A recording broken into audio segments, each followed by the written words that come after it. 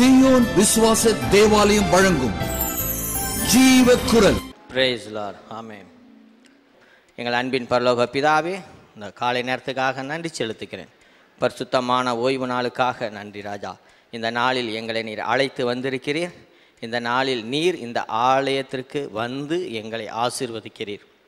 என் நாமத்தினாலே இரண்டு பேர் மூன்று பேர் கூடியிருக்கும் இடத்தில் நான் வந்து இருக்கிறேன் என்று சொல்லிட்டீங்க ஆண்டவரே நீங்கள் இந்த இடத்துல இருக்கீங்க. தகப்பனை எங்களுக்கு உண்டான குறைகள் எல்லாவற்றையும் நீர் நிறைவேற்றும்படியாக செபிக்கிறோம் ஆண்டவரை. இந்த காணா ஒரு கல்யாணத்திலே திராட்சரசம் குறைவுபட்ட பொழுது நீர் எப்படி அதை நிறைவாக மாற்றினீரோ எங்கள் வாழ்க்கையில் உள்ள குறைவுகளை இந்த நாளில் நீர் நிறைவுபடுத்த போகிறீர். குடும்பத்தில் உள்ள பிரச்சனைகளை நீக்கப் போகிறீர். அநேக வருடம் திருமணமாகி குழந்தை இல்லாதவர்களுக்கு குழந்தை கொடுக்க போகிறீர். ஆண்டவரை வியாதி நீண்ட நாள் வியாதியில் உள்ளவர்களுக்கு வியாதி நீங்கும்படியாக நீர் செய்ய போகிறீர். ஆண்டவரே இந்த காரியம் எப்படி நடக்கும் என்று சிந்தித்து கொண்டு இருக்கிறவர்களுக்கு தேவன் சொல்லுகிறார் என்னால் செய்யக்கூடாத அதிசயமான காரியம் ஒன்று உண்டோ என்று. அமே ஆனால் இன்றைக்கு தேவனை விசுவாசிக்கும் பொழுது அவருடைய மகிமையை நாம் காணப்போகிறோம் இன்று ஆராதனையை இயேசு கிறிஸ்துவின் கரத்தில் ஒப்பு கொடுக்குறோம் ஆண்டவரை நீங்கள் பொறுப்பெடுத்துக்கங்க. உங்களுடைய வார்த்தைகளை பேசும் பொழுது ஆண்டவரே எங்கள் உள்ளான மனிதர்கள் ஆண்டவர் எழுந்து பிரகாசிக்கும்படியாக செபிக்கிறோம் ஆண்டவரை பாடுகிற பாடல்களை ஆசீர்வதிங்க. இந்த ஆராதனை நம்முடைய கரத்தில் ஒப்பு கொடுக்குறோம் நீங்கள் பொறுப்படுத்து வழி நடத்துங்க. மீட்பெரும் இரட்சகருமாய் இருக்கிற இயேசு கிறிஸ்துவ நாமத்தில் செபிக்கிற நல்ல பிதாவே. ஆமேன். எல்லாரும் புது பலத்தோடு முழு பலத்தோடு கர்த்தரை ஆராதிப்போம் உங்களுடைய நாமத்தை மகிமைப்படுத்துவோம். கர்த்தர் உண்டு பண்ணின நாள் இதிலே மகிழ்ந்து களி கூற கடவும். உன்னதமானவரின் உயர் மறைவில் இருக்கிறவன் சர்வ வல்லவருடைய நிழலில் தங்குவான். எல்லாரும் உற்சாகமாக பாடலாம். எல்லாம் கரங்களை தட்டி பிரைஸ் அலாட்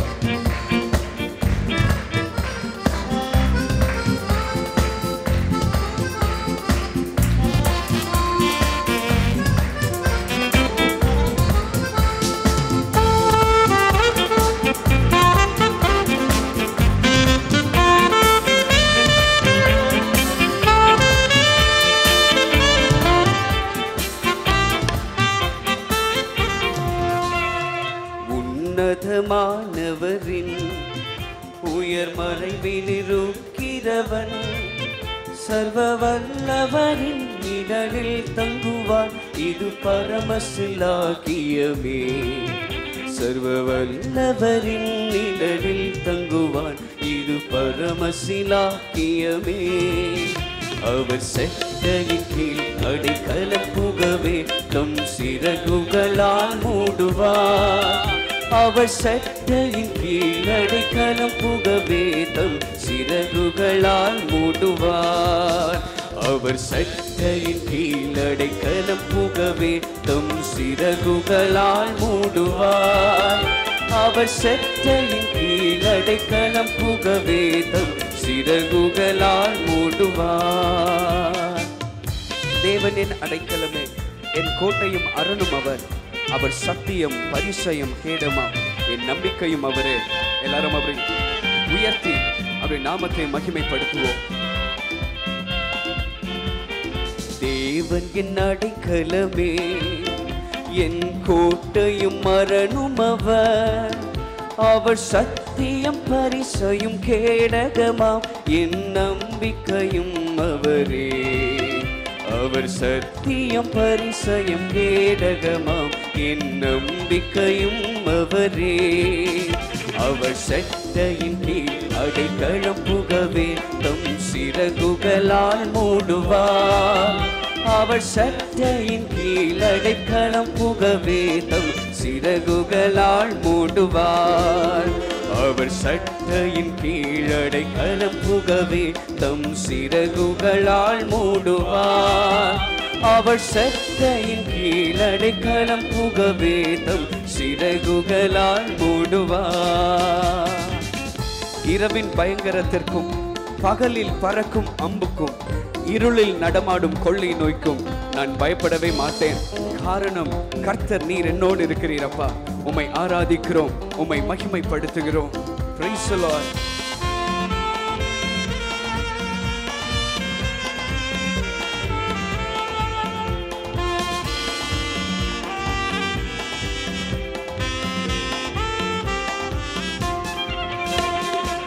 இரவின் பயங்கரத்திற்கும் பகலில் பறக்கும் அம்புக்கும் இருளில் நடமாடும் கொள்ளை நோய்க்கும் நான் பயப்படவே மாட்டேன்.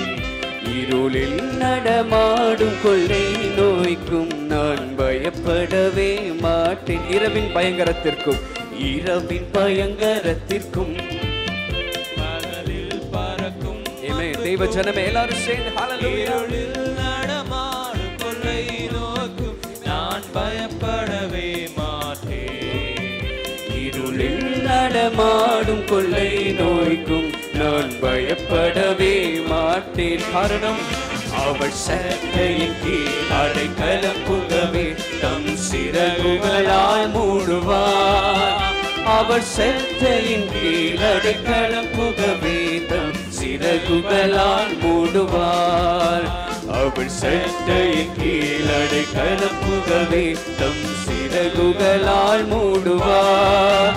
அவள் சட்டையின் கீழடை கலப்புகவே தம் சிறகுகளால் மூடுவார்.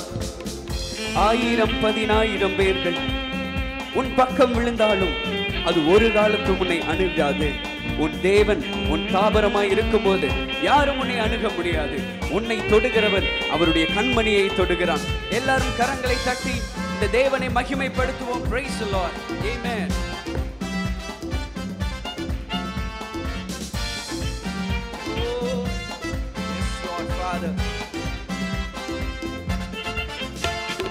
Oh, ஆயிரம் பதினாயிரம் பேர்கள் உன் பக்கம் விழுந்தாலும் அது ஒரு காலத்தும் உன்னை அணுகிடாது. உன் தேவனும் உன் தாபரமே அது ஒரு காலத்தும் உன்னை அணுகிடாதே. உன் தேவனும் தாவரமே. ஆயிரம் பதினாயிரம் ஆயிரம் பதினாயிரம் பேர்கள் உன் பக்கம் விழுந்தாலும் அது ஒரு காலத்தும் உன்னை அணுகிடாதே. உன் தேவனும் தாவரமே. அது ஒரு காலத்தும் உன்னை அணுகிடாதே உன் தேவனும் தாபரமே. அவர் சட்டையின் கீழ் அடைக்கலம் புகவே தம் சிறகுகளால் மூடுவார். அவர் சட்டையின் கீழ் அடைக்கலம் புகவே தம் சிறகுகளால் மூடுவார். அவள் சட்டையின் கீழ் அடைக்கலம் புகவே தம் சிறகுகளால் மூடுவார் அவள் சட்டையின் கீழ் அடைக்கலம் புகவே தம் சிறகுகளால் மூடுவார் ஹலலூயா ஏமேன் தேவனுக்கே மகிமை உண்டாதாக. என் பெயர் மெட்டில்டா. ஒரு பத்து நாளாக என்னுடைய வலது கை ரொம்ப அதிகமாக வலிச்சிச்சு. கரண்ட்டு ஷாக் அடித்த மாதிரி ரொம்ப வேதனைக்குள்ளாக இருந்தேன். இந்த கையில் தான் நம்ம எல்லாமே செய்யணுமே. எனக்கு இப்படி ஒரு ஒரு வழி இருக்குதே அப்படின்னு சொல்லிட்டு நான் ரொம்ப கஷ்டப்பட்டுட்டு இருந்தேன். ஆனால் நான் ஃபாஸ்டர் ஒரு வாக்குத்தத்தம் கொடுத்துருக்கிறாரு. இந்த மாதிரி கத்த சீவனை தெரிந்து கொண்டு அதை விரும்பினபடியால் அது நான் வாசமாக இருப்பேன்னு சொன்னார். போன வாரம் நான் ஒர்ஷிப்பில் இந்த வசனத்தை சொல்லி அறிக்கையிட்டுட்டு நான் உம்முடைய பிள்ளை ஆண்டவரே எனக்கு இந்த கைவழியில் நான் எந்த மருத்துவர்கிட்டையும் நான் போக மாட்டேன் எனக்கு கண்டிப்பாக நீங்கள் தான் எனக்கு உதவி செய்யணும். இந்த வழியிலேருந்து எனக்கு வேதனை வேதனையிலேருந்து எனக்கு விடுதலை கொடுக்கணும். நான் உமக்கு சாட்சியாக நிற்பேன் அப்படின்னு சொல்லியிருந்து ஒர்ஷிப்பில் ஒர்க் கொடுத்தேன். அப்புறம் நைட்டு வந்து யூடியூப்பில் எப்போதும் ஃபாஸ்டருடைய மெசேஜை பார்ப்பேன். நவம்பர் இருபத்தி ஆறாம் தேதி கத் ஃபாஸ்டர் வந்து ஏழு காரியங்களை குறித்து சொல்கிறதா சொன்னாங்க. ஆனால் டைம் இல்லாதனால ஆறு காரியங்களை கொடுத்து சொன்னாங்க. அப்போ வந்து நீர் சத்து குறைவு உள்ளதை பற்றி அவர் எடுத்தார். என்னை ரெச்சுப்படைய செய்த என் தேவன் நானே உள்ளவர். கல்வாரி சிலுவையில் தனக்காக பாடுபட்டு என்னை மீட்டெடுத்த தேவகுமாரன் நானே உள்ளவர் என்று சொன்ன அந்த மெசேஜை நான் கேட்டிருக்கும் போது ஃபாஸ்டர் ரமேஷ் அவர்கள் வந்து இந்த மாதிரி என் ஃபைல்ஸ் ப்ராப்ளத்தில் நான் ரொம்ப கஷ்டப்பட்டுட்டு இருக்கிறேன் அப்படின்னு சொல்லும்போது ஃபாஸ்டர் சொல்கிறாங்க தேவனுக்கு ரோதமாய் பாவம் செய்தால் இந்த விதமான வழிகள்லாம் கொண்டு வருவான். அந்த சத்துருவை கூப்பிட்டு அப்போ அப்புறப்படுத்து அது பா அகன்ற பாதாளத்துக்கு போகும்படி கட்டளையிடுன்னு சொல்கிறாங்க அப்போ ஃபாஸ்டர் ரமேஷ் அவங்க சொல்கிறாங்க அதே மாதிரி. அதனால் நான் உடனே ஏன்ச்சு என்ன பண்ணேன்? ஆண்டவரே நான் நான் நான் உமக்கு ரோதமாக பாவம் செய்திருப்பேன். நான் பெண்களுக்குள் மகா பெரிய பாவி. அப்போ எனக்கு அந்த சத்துரு யார்? வந்து இந்த முன்னாடி வந்து நின்று அந்த சத்துரு அகன்ற பாதரத்தை போ நான் கட்டளை கொடுக்கும்போது ஒரு சத்துருவும் வரல. ஆனாலும் எனக்கு பயம் நம்ம சத்துருவை கூப்பிடுறோமேன்ட்டு. ஆனால் அடுத்த நாள் பார்த்தீங்கன்னா நான் ஏன்ச்சு ஒப்பு கொடுத்து நான் இஸ்ரேவேலை நேசிக்கிற மகள் எனக்கு கண்டிப்பாக இதுலேருந்து நீங்கள் ஒரு விடுதலை கொடுக்கணும் அப்படின்னு நான் ஏன்ச்சு நான் ஜெபம் பண்ணிட்டு படுத்தும் போது அடுத்த நாள் காலையில் இருந்து எனக்கு அந்த வழியெல்லாம் எங்கே போனதுன்னே தெரியல. தேவனுக்கே மகிமை உண்டாக ரைசல ஒவ்வொரு வாரமும் நானும் சாட்சி சொல்கிறேன் ஒரு நான்கு நாட்கு முன்னாடி ரொம்ப இந்த கிளைமேட் கண்டிஷனில் அல தாங்க முடியாத ஒரு சளி இருமல் அதிகமாக இருந்துச்சு. இரவு முழுவதும் வாந்தி எடுத்துக்கொண்டே இருந்தேன். விடிய விடிய நான் போராடி கொண்டிருந்தேன் ஆனால் ஒன்று மாத்திரம் எனக்கு இருந்துச்சு. உங்கள் வசனம் தான் என்னை சுகமாக்கணுன்றவரை நான் மருந்து மாத்திரை எடுத்துக்க மாட்டேன் அப்படின்னு சொல்லி வைராக்கியமாக இருந்தேன். கர்த்தர் என்னை அவருடைய கிருபையின்படியாக என்னை சுகமாக்கி ஒரு மாத்திரையும் நான் எடுத்துக்கொள்ளாதபடி காத்து கொண்டார் கர்த்தருடைய பரிசுத்த நாமத்திற்கு ஸ்தோத்திரம் உண்டாவதாக. அல்லேலூயா இந்த காலை வேளையிலே நன்றி அறிதல் உள்ளவர்களாய் நாம் இருக்க வேண்டும் என்று சொல்லி நான் இன்றைக்கு உங்களோடு கூட பகிர்ந்து கொள்ளப் போகிறேன். ஏனென்றால் நன்றி அறிதல் என்கிற அந்த குணாதிசயம் நமக்குள் இல்லாமல் நம்ம வாயினால எவ்வளோதான் நன்றி நன்றின்னு சொன்னா அதுல பிரயோஜனம் இல்லை நன்றி அறிதல் உள்ளவர்களாய் இருந்து தேவனுக்கு நாம் நன்றி செலுத்தும் பொழுது இதற்கு ஒரு வல்லமை இருக்கிறது. இந்த காலவேளையிலே நாம் இந்த நன்றி அறிதலினுடைய வல்லமையை நம்முடைய வாழ்க்கையில கட்டுவிழ்கிறதற்கு நாம் செய்ய போகிறது என்ன என்று சொல்லி நாம் பார்க்க போகிறோம். முதலாவது நான் உங்களுக்கு சொல்ல விரும்புகிற காரியம் என்ன என்று சொன்னால் வேதாகமத்தில் ஆண்டவர் பழைய ஏற்பாட்டில் பல கட்டளைகளை கொடுத்திருந்தார் இல்லையா? பழைய ஏற்பாட்டில் கிட்டத்தட்ட அறநூறுக்கும் மேற்பட்ட கட்டளைகள் இருக்கிறது. ஆனால் அந்த கட்டளைகளை மனுஷனால் ஞாபகம் வைத்து கொள்ளவும் முடியாது. அடுத்தது அந்த கட்டளைகளை ஞாபகம் வைத்து கொண்டாலும் சுயபலத்தினாலே அவைகளை கை கொள்ளவும் முடியாது. ஆனால் புதிய ஏற்பாட்டுக்கு வரும்பொழுது ரொம்ப எளிய கட்டளைகளைத்தான் இயேசு கிறிஸ்து நமக்கு வைத்து போனார் என்று சொல்லி நாம் பார்க்கிறோம். ஒருவரில் ஒருவர் அன்பாயிருங்கள். எல்லாவற்றிலும் ஸ்தோத்திரம் செலுத்துங்கள். வெரி சிம்பிள் கமாண்ட்மெண்ட்ஸ் ஆண்டவர் சொல்கிறார் யோவான் பத்தாம் அதிகாரத்தில் என் ஆடுகள் என் சத்தத்துக்கு செவி கொடுத்து எனக்கு பின் செல்கிறார்கள். அப்போ அவருடைய சத்தம் எப்படிப்பட்ட சத்தமா இருக்கிறதுன்னு சொன்னால் எளிதாக அவருடைய சத்தத்தை நாம் கேட்கவும் எளிதாக அந்த சத்தத்தை புரிந்து கொண்டு அவருக்கு பின் செல்லக்கூடியதுமான காரியங்களை தான் இன்றைக்கு தேவன் நம்மோடு கூட பேசுகிறார். ஆகவே இன்றைக்கு இந்த வார்த்தையிலிருந்து நாம் எப்படிப்பட்ட ஆசீர்வாதங்களை பெற்றுக்கொள்ள முடியும் என்பதை குறித்து நாம் தியானிக்க போகிறோம். நன்றி அறிதல் உள்ளவர்களாய் இருங்கள் என்பது வேதாகமத்தில் உங்களுக்கு கூறப்பட்டிருக்கிற ஆலோசனையா கட்டளையா? சொல்லுங்க பார்ப்போம் ஆ? ஆலோசனையா கட்டளையா? கட்டளை தான். வழங்குதா ஏசு கிறிஸ்து ஒரு வார்த்தையை தேவன் தன் ஆவியின் மூலமாய் ஒரு வார்த்தையை நமக்கு கொடுப்பார் என்று சொன்னால் தட் இஸ் அ கமாண்ட்மெண்ட் அப்போ ஆண்டவர் என்ன சொல்லியிருக்கிறாரு? நன்றி அறிதல் உள்ளவர்களாய் இருங்கள் என்று சொல்லி இருக்கிறார் என்று சொன்னால் அதற்கு கீழ்ப்படியாமல் போனால் நாம் என்ன செய்கிறோம்? என்ன செய்கிறோம்? பாவம் செய்கிறோம். பாவம் செய்தால் என்ன நடக்கும்னு உங்களுக்கு தெரியும். நம்ம வாழ்க்கையில் பல போராட்டங்கள் பல பிரச்சனைகள் வருகிறது என்று சொல்லி நாம் பார்க்கிறோம்.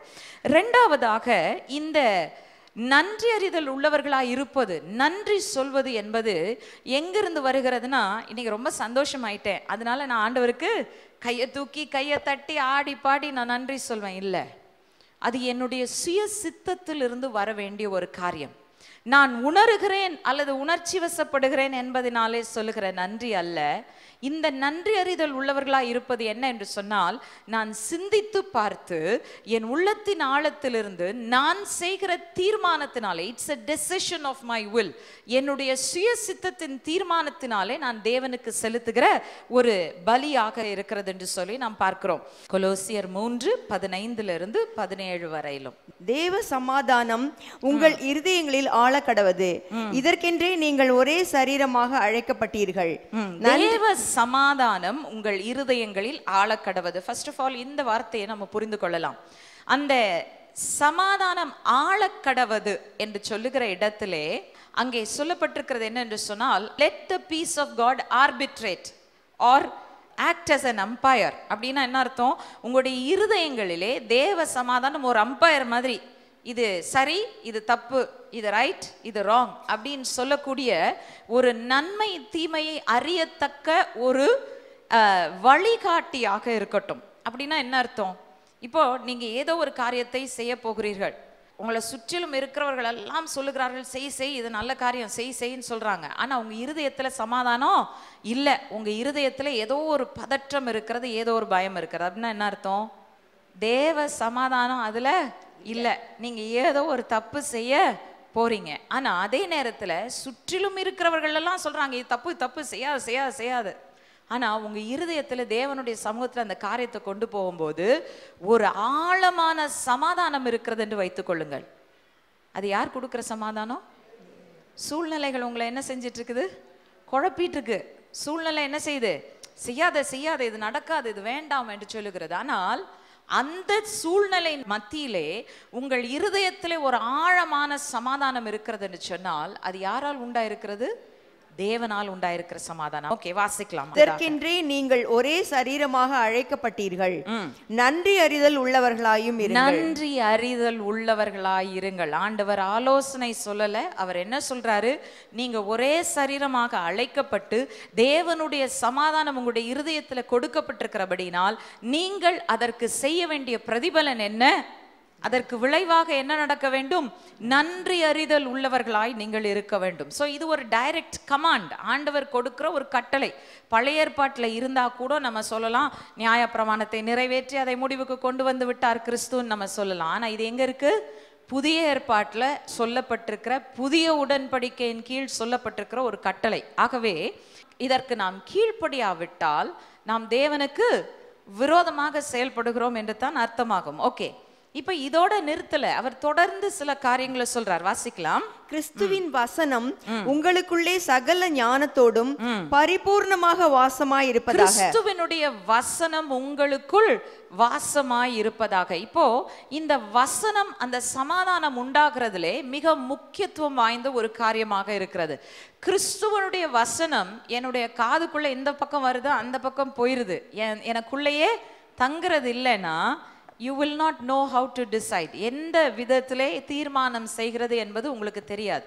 இங்கே எப்படி சொல்லப்பட்டிருக்குன்னா ஆங்கிலத்தில் ரொம்ப அழகாக சொல்லியிருக்கு. Let the word of Christ dwell in you richly அப்படின்னா என்ன அர்த்தம்? மிகவும் அது உங்களுக்குள் செழித்து இருக்கட்டும் அது மிகவும் அதிகமாய் பெருக்கம் அடையட்டும். செழித்திருக்கிறது என்று சொன்னாலே ஒரு பெருக்கம் அடைந்த ஒரு காரியம். நம்ம வேதாகமத்தை அறிந்து கொள்வதிலே வேத வசனத்தை புரிந்து கொள்வதிலே அனுதினமும் நம்முடைய ஞானத்துல என்ன செய்ய வேண்டியவர்களா இருக்கிறோம்? பெருக்கம் உடையவர்களாய் நாம் இருக்க வேண்டியவர்களாய் இருக்கிறோம். அந்த பெருக்கம் நமக்குள் இருந்தால்தான் நம்ம உள்ளத்திலிருந்து அடுத்தது வரும் வாசிங்க சிஸ்டர் சங்கீதங்களினாலும் சங்கீதங்களினாலும் கீர்த்தனைகளினாலும் ஞான பாட்டுகளினாலும் ஞான பாட்டுகளினாலும் ஒருவருக்கொருவர் போதித்து ஒருவருக்கொருவர் போதித்து புத்தி சொல்லிக்கொண்டு புத்தி சொல்லிக்கொண்டு உங்கள் இருதயத்திலே கர்த்தரை பக்தியுடன் பாடி கர்த்தரை பக்தியுடன் பாடி வார்த்தையினாலாவது கிரியையினாலாவது நீங்கள் எதை செய்தாலும் அதையெல்லாம் கர்த்தராகிய இயேசுவின் நாமத்தினாலே செய்து அவர் முன்னிலையாக பிதாவாகிய தேவனை ஸ்தோத்தரியுங்கள். ஓகே இங்க ரொம்ப அழகாக சொல்லப்பட்டிருக்கிறது கர்த்தருடைய வார்த்தை நமக்குள் எவ்வளவு செழித்திருக்கிறதோ அவ்வளவுக்கு அவ்வளவு நாம் என்ன செய்வோம்? எதை செய்தாலும் எல்லாவற்றையும் முதலாவது ஆண்டவராகிய இயேசு கிறிஸ்துவின் நாமத்தில் செய்வோம். ஒரு கிறிஸ்தவனுக்கு தேவனுடைய நாமத்தை இணைக்க முடியாத எந்த ஒரு காரியத்தையும் வாழ்க்கையில் செய்கிற சூழ்நிலை ஏற்பட்டால் செய்யணுமா செய்யக்கூடாதா? செய்யக்கூடாது. விளங்குதா? அங்கே இயேசுவின் நாமத்தை என்னால் எடுக்க முடியாதுங்க நான் அந்த காரியத்தை செஞ்சேன் அப்படின்னா தயவுசெய்து செய்யாதீங்க. ஏன்னா இங்கே சொல்லப்பட்டிருக்கிறது என்ன? முதலாவது அதை கிறிஸ்து இயேசுவின் நாமத்தினாலே செய்ய வேண்டும். ரெண்டாவதாக என்ன சொல்லியிருக்கிறது? எல்லாவற்றிலும் அவருக்கு ஸ்தோத்திரம் செலுத்தி நன்றி செலுத்தி அந்த காரியத்தை நீங்கள் செய்ய வேண்டும். ஃபர்ஸ்ட் திங் நம்முடைய லைஃப்பில் நம்ம இன்றைக்கு பல நேரத்தில் யார்கிட்ட ஆலோசனை கேட்கலாம் எங்கே எங்கே போய் கேட்கலாம் அப்படின்னு யோசிக்கிறோம். நான் சொல்கிறேன் தேவன் உங்களுக்குள்ளேயே ஆவியானவரை கொடுத்துருக்கிறார். யோவான் ரெண்டில் என்ன சொன்னார்? ஒன்று யோவான் ரெண்டில் தேவன் கொடுத்த ஆவியானவர் உங்களுக்குள்ளே தங்கி இருக்கிறார் அவரே உங்களுக்கு சகலவற்றையும் போதிப்பார். இன்றைக்கு தேவன் God wants to be your teacher உங்களுடைய ஆசிரியராய் உங்களுக்கு உங்களை வழி நடத்துகிறவராய் தேவன் இருக்க விரும்புகிறார். ஆகையால் இந்த வார்த்தையினாலே நிரப்பப்பட்டீர்கள் என்று சொன்னால் அந்த வார்த்தை உங்களுக்குள் ஆளுகை செய்யும் பொழுது நீங்கள் உங்களுக்கு மட்டுமல்ல மற்றவர்களுக்கும் புத்தி சொல்லத்தக்கவர்களாய் மாறுவீர்கள். விளங்குதா? ஒரு கிறிஸ்தவன் உலகத்துல எப்பொழுதுமே தேவனுடைய ஞானத்தை வெளிப்படுத்துகிறவனாய் இருக்க வேண்டும். உலகத்தார் நம்மை பார்த்து நம்மிடத்தில் கேட்க வேண்டும். இன்னைக்கு எத்தனை பேர் நம்ம உலகத்தார்கிட்ட போய் நம்ம ஆலோசனை கேட்குறோம்? யோசிச்சு பாருங்க. உலகத்தின் ஞானம் பெரிதா? தேவனுடைய ஞானம் பெரிதா? வேதம் சொல்லுகிறது தேவனுடைய பைத்தியமா இருக்கிற காரியமே உலகத்தின் ஞானத்தை பார்க்கிலும் மிகுந்த ஞானமா இருக்கிறது. விளங்கிச்சா உங்களுக்கு? இன்றைக்கு அதற்காகத்தான் தேவன் நம்மை வார்த்தையினாலே நிறைந்திருக்கும்படி சொல்லுகிறார். அடுத்தது இந்த வார்த்தையினால நிரப்பப்பட்டவர்களாய் நீங்கள் இருப்பீர்கள் என்று சொன்னால் நீங்கள் எல்லா சூழ்நிலைகளிலும் கர்த்தருக்கு நன்றி செலுத்தக்கூடியவர்களாய் நீங்கள் இருப்பீர்கள். இப்போ இங்க சொல்லப்பட்டிருக்கிற காரியம் எப்படின்னு சொல்லியிருக்குன்னா நீங்கள் வார்த்தையினாலாவது கிரியையினாலாவது எதை செய்தாலும் தேவனுக்கு நன்றி செலுத்தி அதை செய்யுங்கள். ஸ்தோத்திரம் செலுத்தி செய்யுங்கள். நீங்கள் எதை செஞ்சாலும் வீட்டை தொடக்கிறீங்களா? ஆண்டவருக்கு நன்றி சொல்லுங்க. நீங்கள் காரை கழுவுறீங்களா? ஆண்டவருக்கு நன்றி சொல்லுங்க. வேலைக்கு போகிறீங்களா நன்றி சொல்லுங்க. பஸ்ஸில் ஏறும்போது கூட்டமாக இருக்குது நன்றி சொல்லுங்க. ஏன் தெரியுமா? பல காலத்துக்கு முன்னாடி உங்கள் முன்னோர்கள் எல்லாம் அந்த பஸ்ஸெல்லாம் கிடையாது. நடந்து வேலைக்கு போனாங்க. எவ்வளோ கஷ்டப்பட்டு வேலை செஞ்சாங்க. இன்னைக்கு ஆண்டவர் உங்களுக்கு எனக்கும் வாழ்க்கையில் எவ்வளோ முன்னேற்றங்களை கொடுத்துருக்கிறார். எல்லாவற்றுக்காகவும் we have to be thankful ஆனால் மனுஷனுடைய சுபாவம் எப்படிப்பட்டது தெரியுமா? இருக்கிறதுல எங்கே நான் குறை கண்டுபிடிக்க முடியும்? எனக்கு இருக்கிறதுல நன்றி சொல்கிறதுக்கு எனக்கு தோணாது. இதில் எங்கே குறை கண்டுபிடிக்க முடியும்? சைக்கிள் வந்துச்சுன்னா பைக்கு கேட்போம் பைக்கு வந்துச்சுன்னா காரு கேட்போம் மனுஷனுடைய ஆசை என்றென்றைக்கும் முடியாத ஒரு ஆசையா இருக்கிறது. ஆனால் வேதம் என்ன சொல்லுகிறது? போதும் என்ற மனதுடனே கூடிய தெய்வ பக்தியே மிகுந்த ஆதாயம். அந்த போதும் எப்போ சொல்ல அறிந்து கொள்வீங்க தெரியுமா? நீங்க என்றைக்கு நன்றி சொல்ல கற்றுக்கொள்கிறீர்களோ அன்றைக்கு ஆண்டவரே போதும். நீங்க கொடுத்த எல்லாவற்றுக்காகவும் போதும்னு சொல்லி நீங்க நன்றி சொல்லிடுவீங்க. அவர் நிறுத்த மாட்டார். உயர்த்திட்டே போவார். ஹalleluya அதுதான் நம்முடைய தகப்பனின் அன்பு. நம்முடைய தகப்பனின் அன்பு அதுதான். அவர் தனக்கு எல்லாவற்றிலும் நன்றி அறிதல் உள்ளவர்களாய் இருக்கிறவர்களை அவர் மென்மேலும் உயர்த்தி கொண்டு தான் போகிறாரே தவிர அவர்கள் ஒருபோதும் தாழ்ந்து போவதில்லை என்று சொல்லி நாம் பார்க்கிறோம். ஸோ இங்கே ரெண்டு காரியங்கள் சொல்லப்பட்டிருக்கிறது. முதலாவது அதை ஆண்டவராகிய இயேசு கிறிஸ்துவின் நாமத்தில் செய்யுங்கள். இரண்டாவதாக அதை செய்யும் பொழுது அவருக்கு நன்றி செலுத்தி அதை செய்யுங்கள். ஒரு சம்பவம் சொல்வார்கள். அதாவது ஒரு அம்மா வந்து எப்போ பார்த்தாலும் ஸ்தோத்திரம் செலுத்திட்டே இருப்பாங்களாம். அந்த அம்மா ஸ்தோத்திரம் ஸ்தோத்திரம் ஸ்தோத்திரம்னு சொல்கிறது கணவனுக்கு ரொம்ப கோவத்தை கொடுக்குமா. உடனே கணவன் ஒரு நாள் என்ன செஞ்சாராம் அந்த அம்மா எப்போ பார்த்தாலும் ஸ்தோத்திரம் ஸ்தோத்திரம்னு சொல்லிக்கிட்டே இருக்கேன்னு சொல்லிட்டு ஓங்கி ஒரு அறை விட்டாராம். அந்த நேரம் பார்த்து இந்த அம்மா அடுப்பில் இருந்து சோத்து பானையை தூக்குறாங்க. ஓங்கி அறை விட்ட உடனே கையில் இருந்த பானை என்ன செஞ்சிருச்சு? தவறி கீழே விழுந்துருச்சு. இப்போ இந்த அம்மா இன்னும் ஸ்தோத்திரம் ஸ்தோத்திரம் ஸ்தோத்திரம் ஸ்தோத்திரம் அதிகமாக கத்துறாங்க. உடனே ரொம்ப கோவம் வந்துருச்சு. முடியை பிடிச்சாரு ஆட்டினார். என்னத்துக்கு ஸ்தோத்திரம்? அப்படின்னு கேட்டார். அந்த அம்மா சொன்னாங்க பாருங்கங்க அப்படின்னு.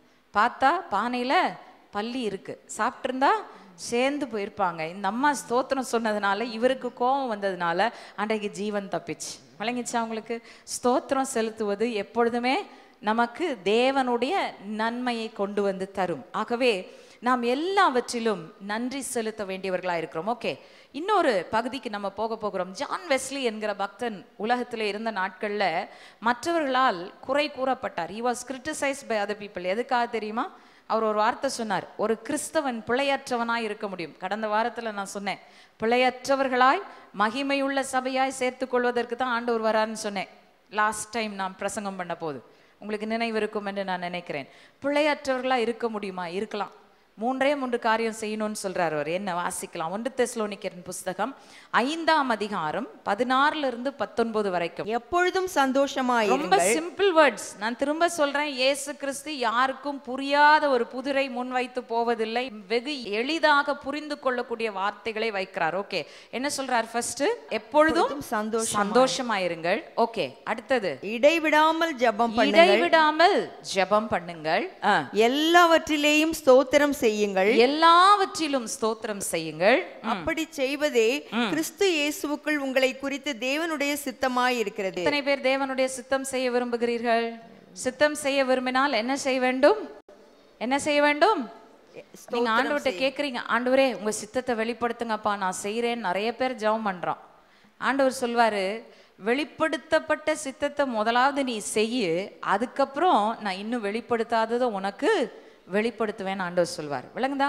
எளிய காரியங்களை நாம் ஆரம்பிக்கும் பொழுது தான் பெரிதானவைகளை நம்மிடத்தில் அவர் நம்பி ஒப்பு கொடுக்க முடியும். ஆகவே இங்கே நாம் பார்க்கிறோம் மூன்று எளிய காரியங்கள். அவர் சொல்லுகிறார் எப்பொழுதும் சந்தோஷமா இருங்கள். எப்படிங்க? எப்போ சந்தோஷமா இருக்க முடியும்? எத்தனையோ துன்பமான காரியங்கள் நடக்குது. எத்தனையோ வேதனையான காரியங்கள் நடக்குது. நான் ஒரு காரியம் சொல்றேன். சந்தோஷம் என்பது உள்ளத்துக்குள் இருக்கிறது. அது பரிசுத்த ஆவினால் கொடுக்கப்படுகிற ஒன்று. அதை யாரும் எடுத்துக்கொள்ள முடியாது. உங்கள் நம்பிக்கை கிறிஸ்துவின் மேல் இருந்தால் எதிர்காலத்தை குறித்து நீங்கள் சந்தோஷமாயிருப்பீர்கள். ஹலலூயா ஓகே ரெண்டாவதாக அங்கே சொல்லப்பட்டிருக்கிறது இடைவிடாமல் ஜெபம் பண்ணுங்கள். எப்படிங்க? இடைவிடாமல் ஜெபம் பண்ணுறது வேலையை ரிசைன் பண்ணிட்டு வீட்டில் உட்காந்தா ஜெபம் பண்ண முடியும்? ஜெபம் பண்ண முடியாது. நீங்கள் வேலைக்கு போகும்போது வேலையை செஞ்சு கொண்டு இருக்கும் பொழுதே எத்தனை பேருக்கு உங்களோடு கூட பேசிக்கொள்ளுகிற பழக்கம் உண்டு? நான் என்னோடு கூட பேசிக்கொள்வேன். அப்படின்னா எப்போதும் உங்கள்கிட்ட நீங்கள் பேசுகிற மாதிரி ஆண்டவர்கிட்டையும் பேசுங்க. உங்கள்கிட்ட சொல்றதுக்கு போல ஐயோ போச்சு அப்படின்னு சொல்கிறது போல ஆண்டவரே போச்சு ஆண்டவரே நான் நினைச்ச காரியம் நடக்கலை. ஆண்டவரே நான் நினைச்ச காரியம் நடந்துருச்சு. நன்றி. வழங்குதா உங்களுக்கு? எந்த நேரத்திலும் உள்ளத்திலே தேவனோடு கம்யூனிகேட்டிங் வித் காட் தேவனோடு கூட பேசுவதற்கு முழங்கால் படிட்டு அறையை பூட்டி கொண்டு அப்போதான் நான் ஜெபம் பண்ண முடியும்னு நினைக்காதீங்க. அது உபவாசத்துக்கு சொல்லியிருக்கு. உபவாசிக்கும் பொழுது சும்மா ஊரை சுற்றிட்டு உபவாசிக்கிறேன் உபவாசிக்கிறேன்னு ஒரு நேரம் சாப்பிடாம இருக்கிறது இல்லை நீங்கள் அந்த நேரத்தை தேவனோடு கூட செலவிட வேண்டும். ஆனால் உங்கள் இருதயத்தில் எப்பொழுதும் நீங்கள் தேவனோடு கூட இடைவிடாமல் பேசி கொண்டே இருக்க முடியும். அதுதான் இங்கே சொல்லப்படுகிற ப்ரே விதவுட் சீசிங் இடைவிடாமல் ஜெபம் பண்ணுங்கள். மூன்றாவதாக சொல்கிறார் எல்லாவற்றிலும் ஸ்தோத்திரம் செலுத்துங்கள். எப்படிங்க? எல்லாத்துலேயும் ஸ்தோத்திரம் செலுத்துறது. நான் சொன்னேன் ஒரு சம்பவம் சொன்னேன். நீங்கள் செஞ்சு பாருங்கள் உங்கள் வாழ்க்கையில் ஆண்டவர் செய்கிற நன்மையை நீங்க காண ஆரம்பிங்க இன்றைக்கு நான் சொல்ல போகிறேன் வேத ஆகமத்துல இது என்னென்ன செய்தது என்பதை குறித்து நாம் பார்க்க போகிறோம். இங்க சொல்லிட்டாரு இது உங்களை குறித்ததான தேவனுடைய சித்தமா இருக்கிறது. நல்லா புரிஞ்சுக்கோங்க இதை செய்வது தேவனுடைய சித்தம். ஓகே அடுத்த வார்த்தை என்ன சொல்லுகிறார்? வாசிக்கலாம்.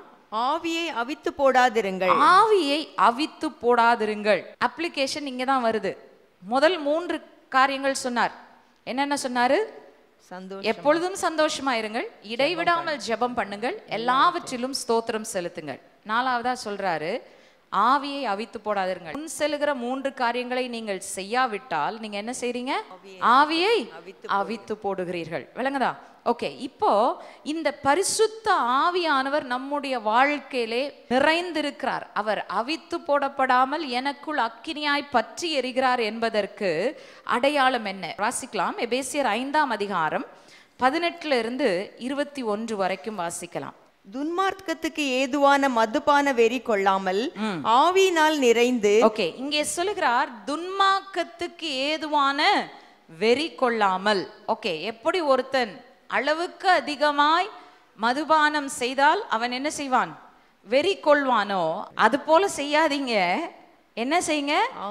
ஆவியினாலே நிறைந்திருந்து. There is no filling of the holy spirit that is too great. பரிசுத்தாவியானவரை நான் அளவில்லாம பெற்றுக்கொண்டேன் அப்படின்னு சொன்னா போதுமா? போதாது. எப்பொழுதும் பெற்றுக்கொண்டே இருக்க வேண்டும். வேதம் சொல்லுகிறது தேவன் நஸ்ரேனாகிய இயேசுவை பரிசுத்த ஆவினால் வல்லமைனாலும் நிறைத்திருந்தார். We have to be filled with the spirit. எந்த நேரமும் இந்த உலகத்துல வாழ்கிற எந்த நேரமும் ஆவியினால் நிறைந்திருந்தால் தான் நாம் தேவனுக்கு பிரயோஜனமான பாத்திரங்களா இருப்போம். சரி நீங்க ஆவினால நிறைந்திருக்கிறீங்களா இல்லையா அப்படின்றதுக்கு என்ன எக்ஸ்பிரஷன் என்ன அது எப்படி வெளிக்காட்டுவீர்கள்? வாசிக்கலாம் பத்தொன்பதாம் வசனம். சங்கீதங்களினாலும் கீர்த்தனைகளினாலும் ஞான பாட்டுகளினாலும் ஒருவருக்கொருவர் புத்தி சொல்லிக் கொண்டு உங்கள் இருதயத்தில் கர்த்தரை பாடி கீர்த்தனம் பண்ணி முதலாவது எக்ஸ்பிரஷன் என்னன்னா உங்க வாழ்க்கையில எப்பொழுதும் துதி எழும்பி கொண்டே இருக்கும். தேவனுடைய ஆவினாலே நீங்கள் நிரப்பப்பட்டிருந்தீர்களானால் நீங்கள் என்ன செய்வீங்க? எப்போதும் ஆண்டவரை துதித்து கொண்டே இருப்பீர்கள். ஓகே ரெண்டாவதாக வாசிக்கலாம். நம்முடைய கர்த்தராகிய இயேசு கிறிஸ்துவின் நாமத்தினாலே எப்பொழுதும் எல்லாவற்றிற்காகவும் பிதாவாகிய தேவனை உங்க ஸ்தோத்தரித்து பைபிள்ல எப்போதும் எல்லாவற்றுக்காகவும் அதை ரெண்டையும் அண்டர்லைன் பண்ணிக்கோங்க.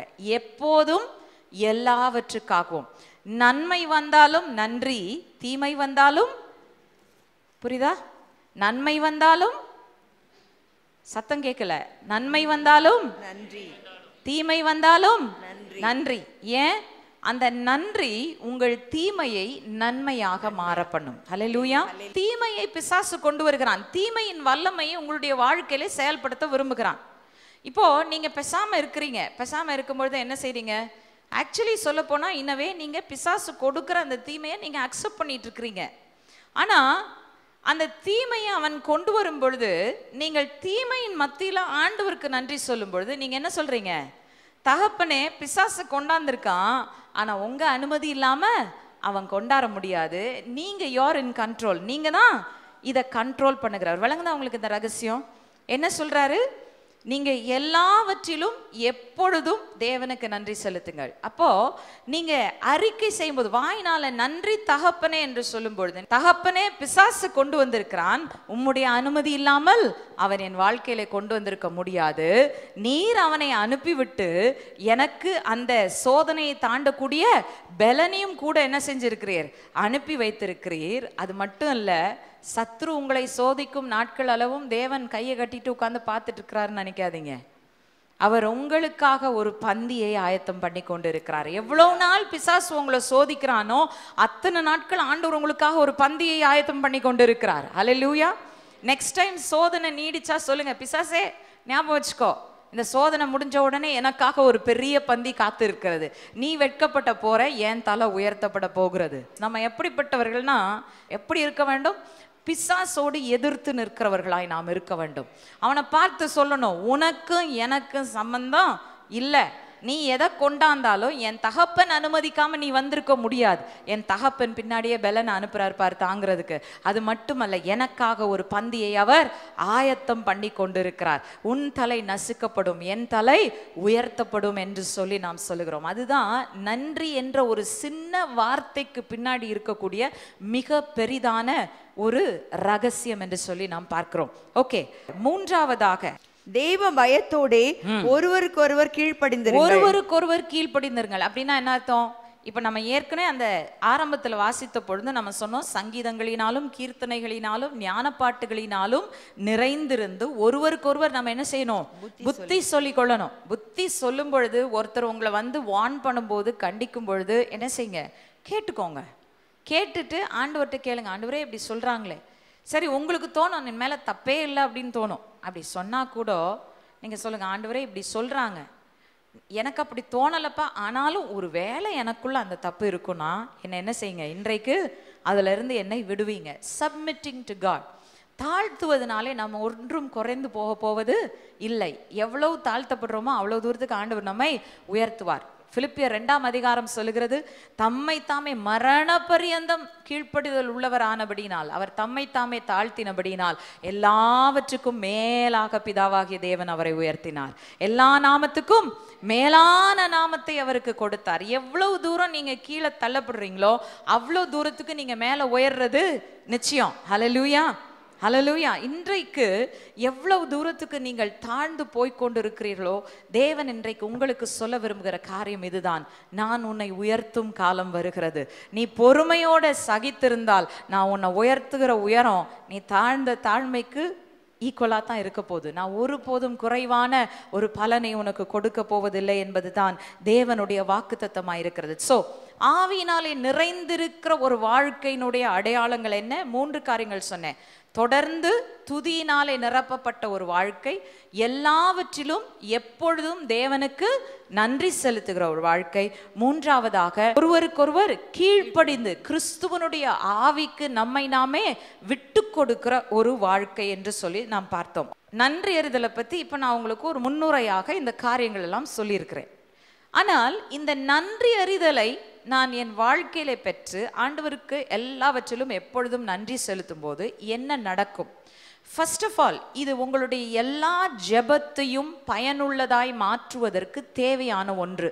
நீங்கள் நன்றி சொல்லாமல் ஜெபிச்சீங்கன்னா உங்களுடைய ஜெபம் கேட்கப்படுமான்றது ஒரு பெரிய கேள்விக்குறி தான் வாசிங்க. பிலிப்பியர் நான்காம் அதிகாரம் ஆறாம் வசனம். நீங்கள் ஒன்றுக்கும் கவலைப்படாமல் ஒன்றுக்கும் கவலைப்படாதீங்க.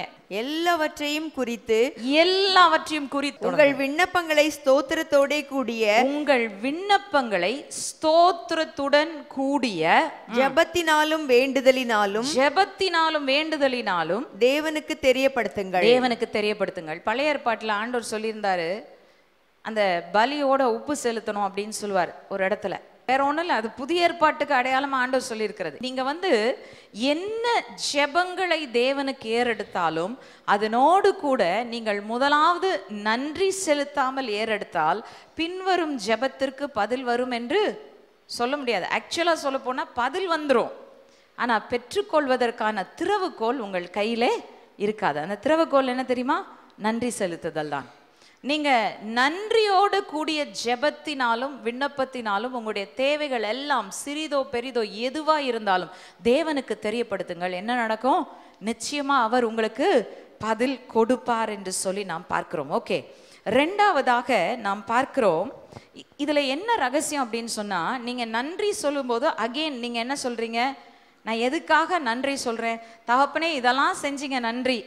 இப்போதும் நான் ஏறெடுக்க போகிற ஜெபத்தையும் நீர் கேட்க போகிறீர் உமக்கு நன்றி. உங்க இருதயத்துல நீங்களே என்ன செய்றீங்க? நன்றி செலுத்துவதனாலே விசுவாசத்தினுடைய தி ஆட்டிடியூட் ஆஃப் ஃபெய்த் விசுவாசத்தினுடைய மனநிலையை நீங்கள் என்ன செய்கிறீர்கள்? வளர்த்து கொண்டு அதற்கு பின்பு உங்களுடைய ஜெபத்தை தெரிவிக்கிறதுனால நிச்சயமா உங்களுக்கு பதில் கிடைக்கும் அப்படின்ற ஒரு உறுதியோடு கூட நீங்கள் இருக்கலாம். ஓகே நம்ம அந்த வசனத்தை வாசிக்கிறதுக்கு முன்னாடி ஒரு சம்பவத்தை மட்டும் நான் சொல்ல போகிறேன் ரோமர் ஒன்றாம் அதிகாரம் எட்டு ஒன்பது வசனங்களை கையில் எடுத்து வைத்துக் கொள்ளலாம். முதலாவது சொன்னேன் விண்ணப்பங்கள் வேண்டுதல்கள் எல்லாவற்றையும் ஆண்டவருக்கு தெரிவிங்கள் ஓகே இப்போ அநேகருடைய வீட்டில் மற்றவர்களுக்காக ஜெபிக்க வேண்டிய சூழ்நிலை இருக்கும். அதாவது உங்களுடைய குடும்பத்தில் ரட்சிக்கப்படாதவங்க இருப்பாங்க. உங்களுடைய குடும்பத்தில் கிறிஸ்துவை அறியாதவர்கள் இருப்பார்கள். அல்லது கிறிஸ்துவை அறிந்து கொண்டும் நிறைய பெற்றோர் வந்து கம்ப்ளைண்ட் பண்ணுவாங்க. என்ன கம்ப்ளைண்ட் பண்ணுவாங்கன்னா பிள்ளை கீழ்ப்படுகிறது இல்லை. கம்ப்ளைண்ட்டை ஜெபத்தில் கொண்டு போய் ஆண்டவர்கிட்ட தெரிவிப்போம். நான் ஒரு உதாரணத்தை உங்களுக்கு சொல்ல விரும்புகிறேன். ப்ரேயிங் ஹைட் என்று சொல்லி அழைக்கப்பட்ட ஒரு மிஷினரி இந்தியாவுக்கு கடந்த நூற்றாண்டில் வந்தார். வந்தப்போ அவரை ரொம்ப பிளான்ஸோடு வந்தார். நிறைய காரியங்கள் செய்ய வேண்டும் என்று இந்த இந்திய தேசத்தில் வந்து மிஷினரியாக இறங்கினார். இறங்கின உடனே ஆண்டவர் சொன்னாராம் முதலாவது நீ மினிஸ்ட்ரியே செய்ய வேண்டாம். நீ முழங்கால் படியிட்டு ஜெபிக்க ஆரம்பி என்று சொன்னாராம். உடனே இவர் ஜெபத்தை ஆரம்பித்தார். அநேகர் அவரை குற்றப்படுத்த ஆரம்பித்தார்கள். சும்மா ஜெபம் பண்ணிட்டே இருந்தா என்ன பிரயோஜனம்? என்ன நடக்க போகுது? அப்படின்னு சொன்னாங்களாம். ஆனா காலம் செல்ல செல்ல இவருடைய ஜெபங்கள் பலனை கொடுப்பத காண ஆரம்பித்த உடனே சரி ஆண்டவர் உண்மையிலே இவர்கிட்ட போய் ஜெப விண்ணப்பத்தை சொன்னா கட்டாயமா நடக்கும்னு போய் அவர்கிட்ட சொல்ல ஆரம்பித்தாங்களாம். ஒரு நாள் இந்த சகோதரன் முழங்கால் படியிட்டு இன்னொரு ஊழியக்காரருக்காக ஜெபிக்க போகிறார். அவர் என்ன ஜெபிக்க போகிறார்னா ஆண்டவரே இந்த சகோதரனை பாருங்க. அவருடைய வாழ்க்கையில் ஆவியின் அனல் இல்லை தகப்பனே. இவருக்கு உம்முடைய அனலை நீர் தாரும் உம்முடைய அக்கினியை தாரும் அபிஷேகத்தை தாரும் ஜெபிக்க மனதில் தீர்மானம் பண்ணிட்டு அவர் சொல்கிறாரு ஆண்டவரே சகோதரன் இவர் அவருடைய பேரை சொல்லி இந்த சகோதரன் சோ சோ இருக்கிறாரு அப்படின்னு சொல்லிட்டு அடுத்த வார்த்தை அவரை பற்றி குறையா சொல்ல போனப்போ ஆவியானவர் தடுத்து நிறுத்தினாராம். ஆவியானவர் சொன்னாராம் அவன் யார் தெரியுமா? யார் ஆண்டவரே? என்னுடைய பிள்ளை. அவனை குறித்து குறை சொல்வதற்கு உனக்கு அதிகாரம் கிடையாது. இப்போ நீங்க மற்றவர்களுக்காக ஜெபிக்கிறீங்க. நீங்க ஜெபிக்கும் பொழுது பல நேரத்தில் என்ன செய்கிறோம் அவர்கள் மேல் இருக்கிற குறைகளையே நம்முடைய மனதுக்குள் வைத்துக்கொண்டு அவர்களுக்காக ஜெபிக்கிறோம். பெங்களூர்ல ஒரு சகோதரியை சந்திச்சேன். கணவர் உண்மையிலேயே அவங்களுக்கு விரோதமா இருக்கிறாரு. நிறைய விச்கிராஃப்ட் எல்லாம் செஞ்சுருக்கிறாரு. அந்த அம்மாட்ட நான் கேட்டேன் என்ன செஞ்சீங்க? அப்படின்னு கேட்டேன். அவங்க சொன்னாங்க யாரோ ஒரு ஊழியக்காரரை போய் பார்த்தேன். அவங்க இருபத்தி ஒரு நாள் உபவாசம் இருக்க சொன்னாங்க. நான் கேட்டேன் இருந்தீங்களா? இருந்தேன். என்ன நடந்தது?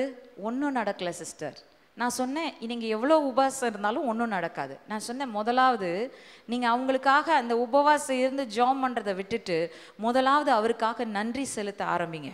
ஆண்டவரே நீர் கொடுத்த கணவனுக்காக நன்றி. என்னெல்லாம் உங்களால் நன்றி சொல்ல முடியுமோ அதுக்கு முதலாவது என்ன செய்யுங்க? நன்றி சொல்லுங்க. உங்கள் இருதயத்தில் இருக்கிற கசப்பு மாறினாதான் அவரை குறித்த ஜெபம் கேட்கப்படும். இன்றைக்கு மற்றவர்களுக்காக ஜெபித்து கொண்டிருக்கிறேன். என் குடும்பத்துக்காக ஜெபிக்கிறேன். பிள்ளைகளுக்காக ஜெபிக்கிறேன். என் ஜெபம் இன்னும் கேட்கப்படவில்லை என்று நீங்கள் சொன்னால் குறை கூறுவதை விட்டுவிட்டு இன்றைக்கு ஒரு சின்ன சேஞ்ச் பண்ணுங்க. இன்னைக்குலேருந்து அவங்களுக்கு என்னெல்லாம் சொல்லி நன்றி சொல்ல முடியுமோ அதுக்காக ஆண்டவருக்கு நன்றி சொல்லுங்கள் சீக்கிரத்தில் நீங்கள் என்னத்துக்காக ஜெபித்து கொண்டிருந்தீர்களோ அது அவர்களுடைய வாழ்க்கையில நிறைவேறுகிறதை நீங்கள் காண்பீர்கள். இதை வெறும் ஒரு மனுஷனுடைய அனுபவத்தை வைத்து நான் சொல்லலை. அப்போஸ்னாகிய பவுல் வேதாகமத்தில் எங்கே எழுதினாலும் ரோமர் ஒன்றாம் அதிகாரம் எட்டு ஒன்பது வசனங்களை வாசிக்கலாம். எந்த சபைக்கு அவர் எழுதினாலும் நிறைய சபைகள் எல்லா சபைகளையும் நம்ம பார்த்தோம்னா எல்லாத்துலேயும் இருக்குது ஆனால் ஒரே ஒரு உதாரணம் மட்டும் எடுத்துக்கலாம். ரோமர் ஒன்றாம் அதிகாரம் எட்டு ஒன்பது வசனங்கள். என்ன செய்வார்? உங்கள் விசுவாசம் உலகமெங்கும் பிரசித்தமாகிறபடியினாலே முதலாவது நான் உங்கள் எல்லாருக்காகவும் இயேசு கிறிஸ்து மூலமாய் என் தேவனை ஸ்தோத்தரிக்கிறேன். முதலாவது நான் என்ன செய்கிறேன்? உங்களுக்காக நான் ஸ்தோத்திரம் செலுத்துகிறேன். நான் நன்றி சொல்லுகிறேன். நான் ஜெபம் பண்ணும் போதெல்லாம் இடைவிடாமல் உங்களை நினைத்து நான் கொண்டிருக்கிறதை ஜெபம் பண்ணும் போதெல்லாம் இடைவிடாமல் உங்களை நினைத்து கொண்டிருப்பதை குறித்து தமது குமாரனுடைய சுவிசேஷத்தினாலே என் ஆவியோடு நான் சேவிக்கிற தேவன் எனக்கு சாட்சியா இருக்கிறார். அவர் சொல்றாரு தேவனே சாட்சி. நான் எப்போ முழங்கால் படிட்டு ஜெபித்தாலும் உங்களுக்காக நான் ஜெபிப்பது உண்டு. ஆனால் ஜெபிப்பதற்கு முன்னாடி நான் என்ன செய்றேன்? உங்களுக்காக நான் ஸ்தோத்திரம் செலுத்துகிறேன். எதற்காக ஸ்தோத்திரம் செலுத்துகிறேன்? உங்க விசுவாசம் பிரசித்தமாக இருக்கிறது ரோமர்களுக்கு எழுதும் பொழுது அவர்களுடைய விசுவாசத்தை குறித்து அவர் மேன்மை பாராட்டுகிறார். நீங்க யாருக்காக ஜெபிக்கிறீங்களோ அவங்களுக்குள்ள என்ன ஒரு நற்குணம் இருக்கிறது அதற்காக ஆண்டவருக்கு என்ன செய்யுங்க? நன்றி செலுத்துங்க. அந்த நன்றி செலுத்தும் பொழுது அது என்ன செய்கிறது என்று சொன்னால் அவருடைய வாழ்க்கையிலே அவர்கள் முன்னேற முடியாமல் இருக்கக்கூடிய தடையை அது முறித்து என்ன செய்யும்னா அங்க ஒரு மாற்றத்தை கொண்டு வருவதற்கு ஒரு வழியை ஏற்படுத்துகிறது என்று சொல்லி நாம் பார்க்கிறோம். அப்போஸ்தலனாகிய பவுல் எல்லா ஜெபங்களிலும் இப்படிதான் செய்தார். இதற்கு ஒரு கான்ட்ராஸ்டையும் நான் உங்களுக்கு காட்டிடுறேன். அதே ரோமரின் புஸ்தகம் பதினோராம் அதிகாரம் ரெண்டாம் வசனத்திலே ஒருவரை குறித்து வாசிக்கிறோம். வாசிக்கலாம். தேவன் தாம் முன்னறிந்து கொண்ட தம்முடைய ஜனங்களை தள்ளிவிடவில்லை. எலியாவை குறித்து சொல்லிய இடத்தில் வேதம் சொல்லுகிறதை அறியீர்களா? அவன் தேவனை நோக்கி கர்த்தாவே உம்முடைய தீர்க்கதரிசிகளை அவர்கள் கொலை செய்து இப்ப எலியாவுடைய கம்ப்ளைண்ட் இது. யார் குறிச்சு? இஸ்ரவேல் ஜனங்களை குறிச்சு. என்னெல்லாம் சொல்றாரு? உம்முடைய தீர்க்கதரிசிகளை அவர்கள் கொலை கொலை செய்- செய்து விட்டார்கள். அடுத்தது உம்முடைய பலிபீடங்களை இடித்து போட்டார்கள். பலிபீடத்தை இடி போட்டுட்டாங்க. நான் ஒருவன் மாத்திரம் மீதியாய் இருக்கிறேன். ஒருவன் தான் இருக்கிறேன் ஆண்டவரே. வேற யாருக்கும் என்ன போல வைராக்கியம் உம மேல இல்லைன்றாரு. என் பிராணனையும் வாங்க தேடுகிறார் என்று இஸ்ரவேலருக்கு விரோதமாய் விண்ணப்பம் இஸ்ரவேலுக்கு விரோதமாய் விண்ணப்பம் பண்ணினான். நல்லா கவனிங்க அந்த வசனத்தை. இஸ்ரவேலுக்கு விரோதமாய். விண்ணப்பம் பண்ணினான். இப்பொழுது தேவன் அவனுக்கு கொடுத்த பதில் என்ன? ஆண்டவர் பார்த்தா ஆமாப்பா நீ பாவம்பா உண்மையிலே நீ கஷ்டப்பட்டு தான் போராடுறேன்னு ஆண்டவர் சொன்னாரா? அவனுக்கு உண்டான தேவ உத்தரவு என்ன? வாசிங்க. அவனுக்கு உண்டான தேவ உத்தரவு என்ன? பாகாலுக்கு முன்பாக முழங்கால் படியிடாத பாகாலுக்கு முன்பதாக முடங்காத ஏழாயிரம் பேரை எனக்காக வைத்தேன். பேரை நான் இன்னமும் எனக்கு மீதியாக வைத்திருக்கிறேன் என்று ஆண்டவர் சொல்லுகிறத நம்ம பார்க்கிறோம். பல நேரத்துல நம்ம மற்றவர்களுடைய வாழ்க்கையில இருக்கிற குறைகளை தான் நம்ம பார்க்கிறோம். ஆனா ஆண்டவர் அங்க இருக்கிற நன்மைகளை அவர் பார்க்கிறார். மறைந்திருக்கிறதை தேவன் காண்கிறார். கா வெளிப்படுத்தப்பட்டதை மட்டும்தான் நீங்க பார்க்குறீங்க.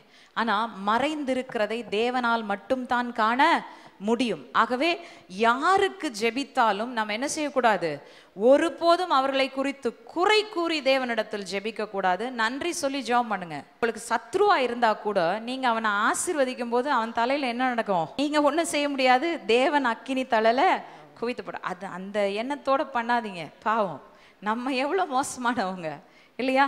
நமக்கு எத்தனை குறைகள் இருக்குது. நம்மளே ஆண்டவர் வந்து கிருவியாக நடத்துகிறாருனா நம்ம சத்ருவா இருக்கிறவனுக்கு ஆண்டவர் கொஞ்சம் இறக்கம் காட்டிட்டு போட்டுமே.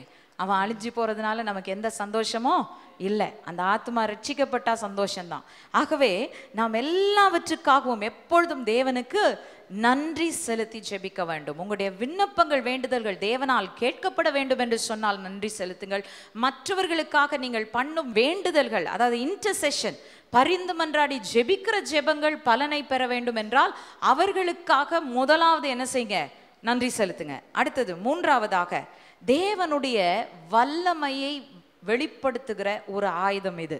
நல்லா கவனிங்க. யோனா தீர்க்கதரிசி என்ன நடந்தது? ஆண்டவர் சொன்னதுக்கு கீழ்ப்படியில. கீழ்ப்படியாமல் போய் மீன் வயிற்றுல சிக்கிட்டார். சிக்கிட்டு இப்போ கம்ப்ளைண்ட் அங்கே உட்காந்துட்டு துர்ச்சன்ய பிரவாகம் என்னை சூழ்ந்து கொண்டது. நான் மரண கண்ணியில் அகப்பட்டிருக்கிறேன். இப்படியெல்லாம் புலம்புறார். புலம்பி புலம்பி ஜோம் பண்ணுறார் நிறைய ஜோம் பண்ணார். ஆனால் திடீர்னு புத்தி வந்துச்சு. ரெண்டு ஒன்பதில் என்ன சொல்கிறார் பாருங்க. யோனா ரெண்டு ஒன்பது. நானோவெனில் துதியின் சத்தத்தோடே உமக்கு பலியிடுவேன். நான் பண்ணின பொருத்தனையை செலுத்துவேன். ரட்சிப்பு கர்த்தருடையது என்றான். கர்த்தர் மீனுக்கு கட்டளையிட்டார். இப்ப என்ன அவனுடைய விடுதலையை கொண்டு வந்தது?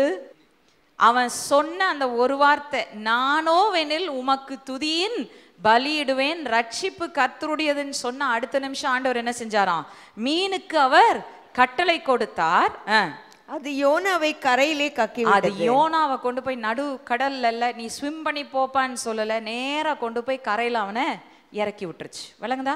நீங்க இன்னும் கரை சேராமல் இருந்தீர்களானால் இன்னமும் பிரச்சனைக்குள் மாட்டிக்கொண்டு இருந்தீர்கள் என்றால் உங்களுடைய ஜெபத்தையும் புலம்பலையும் விட்டுட்டு ஆண்டவருக்கு நன்றி சொல்லுங்க. ரட்சிப்பு உம்முடையது கர்த்தாவேன்னு சொல்லுங்க. சிறையிருப்புகளை தேவன் மாற்றுவார். ஹalleluya சிறையிருப்புகளை மாற்றும் வல்லமை கொண்ட ஒரு தேவன் நமக்கு உண்டு. ஆனா அவருடைய வல்லமையை என் வாழ்க்கையில நாம் பெற்றுக்கொள்வதற்கு என் வாயால நான் ஆண்டவருக்கு நன்றி சொன்னா தான் அந்த வல்லமையை நான் பெற்றுக்கொள்ள முடியும். ஓகே இன்னொரு காரியம். யோவான் ஆறாம் அதிகாரம் பதினொன்றாம் வசனம். இயேசு அந்த அப்பங்களை எடுத்து ஸ்தோத்திரம் பண்ணி சீஷர்களிடத்தில் கொடுத்தார். சீஷர்கள் பந்தி இருந்தவர்களுக்கு கொடுத்தார்கள். அப்படியே மீன்களையும் அவர் எடுத்து அவர்களுக்கு வேண்டிய மட்டும் கொடுத்தார். ஓகே இங்க நான் கேக்குறேன் அற்புதம் எப்படி நடந்தது? ஏசு கிறிஸ்து நீண்ட ஜெபம் செய்தாரா? அப்பத்தை எடுத்து ஸ்தோத்திரம் பண்ணி அதை பிட்டு கொடுத்தார். எல்லாருக்கும் போதுமானதாய் இருந்தது. ஐயாயிரம் பேர் மட்டுமல்ல ஐயாயிரம் வந்து ஆண்களுடைய எண்ணிக்கை. பெண்களும் பிள்ளைகளும் கணக்கிடப்படவில்லை. அதை ஞாபகம் வச்சுக்கோங்க. அப்போ ஒரு வார்த்தை தேவனுக்கு நன்றி சொன்னது என்ன செய்தது? ஐந்தப்போ ரெண்டு மீன். ஒருவனுக்கு போதுமான ஆகாரத்தை என்ன செய்தது?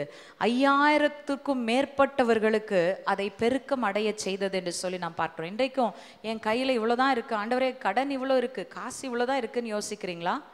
வச்சிருக்கிறத ஆண்டவருக்கு முன்னாடி வச்சு சொல்லுங்கள் ஆண்டவரே நீங்கள் கொடுத்துருக்குறீங்க. இதற்காக நன்றி. நன்றின்னு சொல்லுங்க. உங்களுடைய தேவைகள் எல்லாவற்றையும் சந்திப்பது மட்டுமல்ல மீதியான துணிக்கைகளையும் எடுக்கும்படியாக தேவன் கிருபை செய்வார். அலலூயா அலலூயா இன்றைக்கு நாம் புரிந்து கொள்ள வேண்டும். பல நேரத்துல அந்த அற்புதம் வாசல்ல நிக்குது. நம்ம தலை மேல நிக்குது. இறங்காம இருக்கிறதுக்கு காரணம் என்ன? நான் நன்றி சொல்லாம முறுமுறுத்து கொண்டிருக்கிறபடினால் எனக்கும் என் தேவனுடைய வல்லமையின் விளங்குதலுக்கும் இடையிலே அது ஒரு தடையை உண்டு பண்ணுகிறது என்று சொல்லி நாம் பார்க்கிறோம். ஆகவே பிரியமானவர்களே இந்த நாளிலே ஆண்டவருக்கு நன்றி செலுத்துதல் உங்களுடைய குறைவுகளை மாற்றி அதை நிறைவாக மாற்றுவது மட்டுமல்ல மற்றவர்களுக்கும் நீங்கள் கொடுக்கத்தக்கவர்களாய் உங்களை மாற்றும். ஹalleluya நீங்கள் ஆண்டவர்கிட்ட ஒன்று மட்டும் சொல்லுங்கள் ஆண்டவரே நிறைய தந்தீங்கன்னா பேங்க்கு புது புதுவாக அக்கௌண்ட் ஓப்பன் பண்ணி போட்டு வைக்க மாட்டேன் ஆண்டவரே. நான் உமக்காக மற்றவர்களுக்கு கொடுத்து எவ்வளோ என்னால் உதவ முடியுமோ நான் உதவுவேன்னு சொல்லுங்கள் அந்த மனநிலையில் இருந்தால் ஆட்டோமேட்டிக்காக ஃபைனான்ஷியல் பிளெஸ்ஸிங் உங்களுக்கு வந்துடும் நிறைய பேர் நம்ம ஒரு தேக்கம் அடைகிற ஒரு நீர்நிலையாய் மாற விரும்புகிறோம். அதில் பிரயோஜனம் இல்லை. தண்ணி கெட்டு போயிடும் வெளியில் அது ஓடிக்கிட்டே இருந்தால் தான் ஆசீர்வாதம். பணமும் அப்படிப்பட்ட ஒரு ஆசீர்வாதம் தான். நீங்கள் நன்றி செலுத்துங்க ஆண்டவர் கொடுப்பார். கொடுக்க கொடுக்க உங்கள் தேவைகள் சந்திக்கப்பட்டுருச்சா? வேறு யாருக்கு உதவி செய்ய முடியும்னு பாருங்கள் கொஞ்சமாச்சும் மற்றவர்களுக்கு உதவி செய்யுங்க. நீங்கள் அதிகமாய் திரும்ப பெற்றுக்கொள்வீர்கள். ஓகே. அடுத்ததாக இந்த சம்பவத்தை குறித்து ஒரே ஒரு காரியம் நீங்கள் பார்க்கணும். என்னன்னா இது எந்த அளவுக்கு அந்த யோவானை பாதித்தது என்று சொன்னால் யோவான் ஆறு பதினொன்றில் இந்த அற்புதம் நடந்தது குறித்து வாஸ்தோம் இருபத்தி மூன்றாம் வசனத்துல அவங்க படகுல போயிட்டு திரும்ப வர்றாங்க. அப்போ அங்க என்ன நடந்தது? வாசிங்க. கர்த்தர் ஸ்தோத்திரம் செய்த பின்பு அவர்கள் அப்பம் சாப்பிட்ட இடத்திற்கு சமீபமாய் திபேரியாவிலிருந்து வேறே படகுகள் இப்போ என்ன சொல்றாரு? அந்த மலைக்கு ஒரு பேர் இருந்திருக்குமா? இருக்காதா? எங்க போனாலும் எந்த மலைக்கும் ஒரு பேர் வச்சிருக்காங்க. இப்போ இந்த மலையிலே மலைக்கு சமீபமாய் வந்த போதுன்னு சொல்லி இருந்திருக்கலாம் அந்த பேரை சொல்லி. ஆனா அவர் என்ன சொல்றாரு? மலையின் பேரை சொல்லவில்லை. கர்த்தர் ஸ்தோத்திரம் செலுத்தின பின்பு அப்பம் புசித்த ஸ்தலம். அதுக்கு எப்படி பேர் மாறிடுச்சு பார்த்தீங்களா?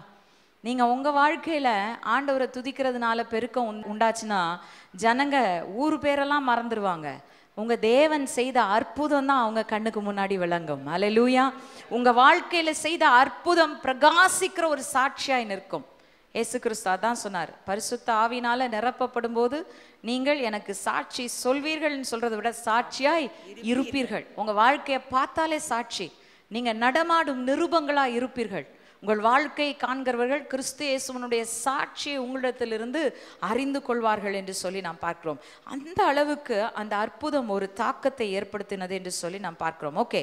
இன்னொரு அற்புதம் செய்யும் வல்லமை. மூன்று விதத்தில் நான் சொல்ல போறேன். முதலாவது என்ன செய்தது? ஒருவனுடைய சிறையிருப்பை மாற்றினது அடுத்தது குறைவு இருந்த இடத்திலே நிறைவை உண்டாக்கினது. மூன்றாவதாக ஒரு அற்புதம் பாருங்க.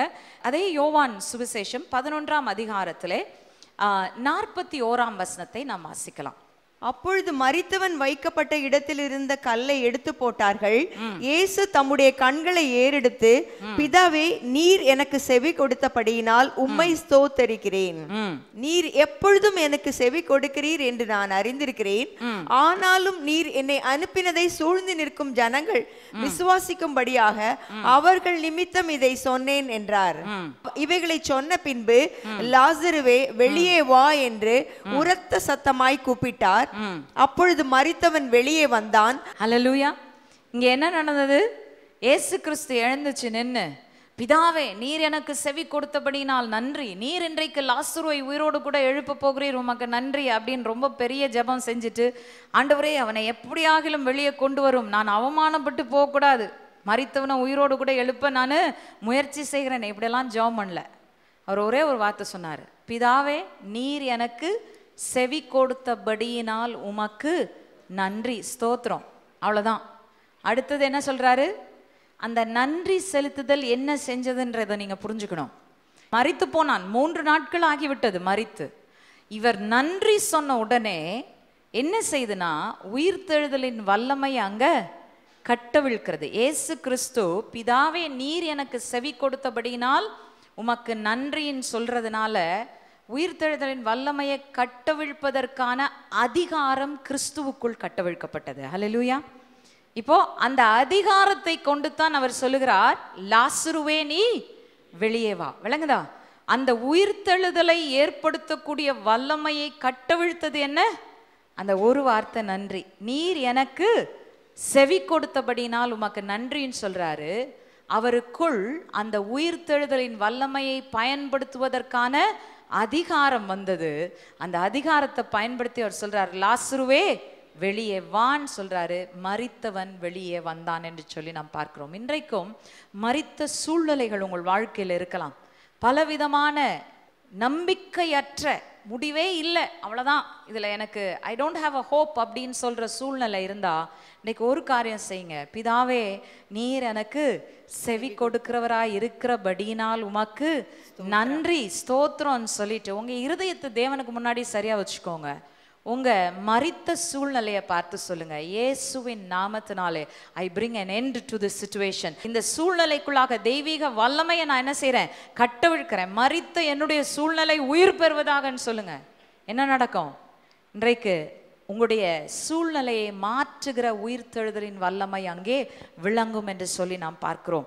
அற்புதங்கள் திரளாய் வேதாகமத்தில் நடந்தது. ஆனால் இன்றைக்கு அதற்குரிய திறவுகோல் எங்கே இருக்கிறது என்று சொன்னால் என் நாவிலிருந்து நான் தேவனுக்கு சொல்லுகிற ஒரு வார்த்தை நன்றி ஸ்தோத்திரம் என்பதிலே இருக்கிறது. நான் சொன்னது போல சும்மா வாயினால் சொல்லி அற்புதத்தை நடத்திடலாம்னு நினைக்காதீங்க. உள்ளத்தின் ஆழத்துல நன்றி அறிதல் என்ற குணாதிசயம் உங்களுக்குள் இருந்தால்தான். அந்த நன்றி என்று வாயில வரும்பொழுது அது உண்மையிலே உள்ளத்தின் ஆழத்திலிருந்து வருகிற நன்றியா இருக்கிறபடினால் அது வல்லமை நிறைந்ததாய் வெளிப்படும் என்று சொல்லி நாம் பார்க்கிறோம். ஓகே இன்னொரு காரியத்தை பார்க்கலாம். யாக்கோபு ரெண்டு இருபத்தி ஆறு. அப்படியே ஆவி இல்லாத சரீரம் செத்ததா இருக்கிறது போல கிரியைகள் இல்லாத விசுவாசமும் செத்ததா இருக்கிறது. கிரியை இல்லாத விசுவாசம் செத்ததா இருக்கிறது. இந்த வார்த்தைக்கு அர்த்தம் என்ன? நீங்க விசுவாசம் இருக்கு எனக்குள்ளன்னு சொல்லிட்டு அந்த விசுவாசம் எந்த செயல்லையும் காணும்னாக்கா அதுல பிரயோஜனம் இல்ல. அது மறித்ததுக்கு சமமா இருக்கிறது. இப்போ நீங்க நன்றி சொல்றீங்க பாருங்க. இந்த நன்றி சொல்றது the simplest expression of your faith உங்களுடைய விசுவாசத்தின் மிக எளிய வெளிக்காட்டுதல் நீங்கள் சொல்கிற இந்த நன்றி என்ற வார்த்தை. ஏன்? நான் ஏற்கனவே சொன்னேன். நன்றின்னு சொல்லும்போது நீங்கள் என்ன செய்கிறீங்க தகப்பனே சாத்தான் எனக்கு விரோதமாய் ஒன்றை கொண்டு வந்திருக்கிறான். ஆனாலும் இவனிலும் நீர் பெரியவர். உம்முடைய அனுமதி இல்லாமல் வரவில்லை. இவனை அனுப்பினாலும் நீர் எனக்காக யாவற்றையும் செய்து முடிக்கப் போகிறீர் என்ற மறைவான காரியங்களை அதற்கு பின்னிலிருந்து வெளிப்படுத்துகிறது என்று சொல்லி நாம் பார்க்கிறோம். ஸோ இந்த நன்றி செலுத்துதல் மிக மிக முக்கியம். ஓகே அடுத்ததாக ஒருக்கா பதினேழாம் அதிகாரத்துல பன்னிரெண்டாம் வசனம் தொடங்கி அஹ், குஷ்டரோகிகளை குறித்து நாம் வாசிக்கிறோம். குஷ்டரோகிகள் என்ன செய்தார்கள்? ஏசு கிறிஸ்துவனிடத்தில் பத்து பேர் வந்தார்கள். இயேசு கிறிஸ்து அவர்களை சுகமாக்கினார். போங்க போய் ஆசாரியன்ட்ட உங்களை காட்டி அதற்குரிய பலிகளை செலுத்துங்கன்னு அனுப்புறாரு. போகிற வழியில் அவங்க எல்லாரும் சுகமானாங்க. என்னாச்சு? ஒம்பது பேர் அப்படியே போயிட்டான். ஒருத்தன் தான் கிறிஸ்துவனிடத்தில் திரும்ப வந்தான். இன்னைக்கு அநேகர் அப்படிதான் இருக்கிறோம். ஆண்டவர்கிட்ட ஆசீர்வாதத்தை பெற்றுட்டு ஓடிடுறோம். சிலர் தான் அதை சிந்தித்து பார்த்து அவரிடத்தில் வந்து மறுபடியும் நன்றி சொல்லுகிறோம். அதில் இயேசு கிறிஸ்து சொல்கிறாரு இவன் ஒருத்தன் தான் மெய்யானதை சுதந்திரித்து கொண்டான்னு சொல்கிறார் நானும் இன்றைக்கு சொல்லுகிறேன் நம்முடைய ஆசீர்வாதங்களை பெற்றுக்கொள்ளும் போது பல நேரத்தில் திருடுகிறவன் ஒருவன் காத்திருக்கிறான். Charles Simpson சொல்வாராம் outside every meeting there is a blessing stealer எந்த கூட்டத்திற்கு வெளியிலே போனாலும் கதவுக்கு வெளியில் ஆசீர்வாதத்தை திருடுகிறவன் ஒருவன் இருப்பானாம். இங்கே சுகத்தை பெற்றுக்கொண்டு வெளியில் போவாங்களாம் வெளியில் போனவொடனே அவன் என்ன செஞ்சிருவானா? திருடிடுவானா மறுபடியும் வியாதி வந்துருமா. அவர் சொல்கிறாரு giving thanks sets the seal on God's blessing நீங்கள் நன்றி செலுத்துனீங்கன்னா என்ன ஆயிருது? ஒரு முத்திர குத்துன மாதிரி உங்களுக்குள்ள ஆண்டவர் கொடுத்த ஆசீர்வாதத்தை ஒருவனும் பறித்து கொள்ள முடியாதபடிக்கு அதை தேவன் உங்களுடைய வாழ்க்கையிலே முத்திரையிடுகிறார். லூயா பெற்றுக்கொண்டு நன்றி செலுத்தாமல் இருந்தோம் என்று சொன்னால் நிச்சயமாகவே திருடுகிறவன் வந்து திருடி கொண்டு போவான். ஆனால் நன்றி சொல்லி அதை நம்ம வாழ்க்கையில சீல் பண்ணிட்டோம்னா நம்முடைய ஆசீர்வாதத்தை ஒருவனாலும் பறித்தெடுக்க முடியாது என்று சொல்லி நாம் பார்க்கிறோம். ஒரே ஒரு எச்சரிப்பை மட்டும் சொல்லி முடிக்க விரும்புகிறேன். ஒன்று கொரிந்தியர் பத்து பத்து. இங்க நன்றி செலுத்தலைன்னா உங்க வாயிலிருந்து என்ன வரும்? அவர்களில் சிலர் முறுமுறுத்து நன்றி செலுத்துதலுக்கு எதிரான காரியம் என்ன? முறுமுறுத்தல். முறுமுறுத்தல் இருந்தால் என்ன நடக்கும்? சிஸ்டர் ஃபுல்லா வாசிங்க திரும்ப. அவர்களில் சிலர் முறுமுறுத்து. சங்காரக்காரனாலே அழிக்கப்பட்டார்கள். சங்காரக்காரனாலே என்ன செய்யப்பட்டார்கள்?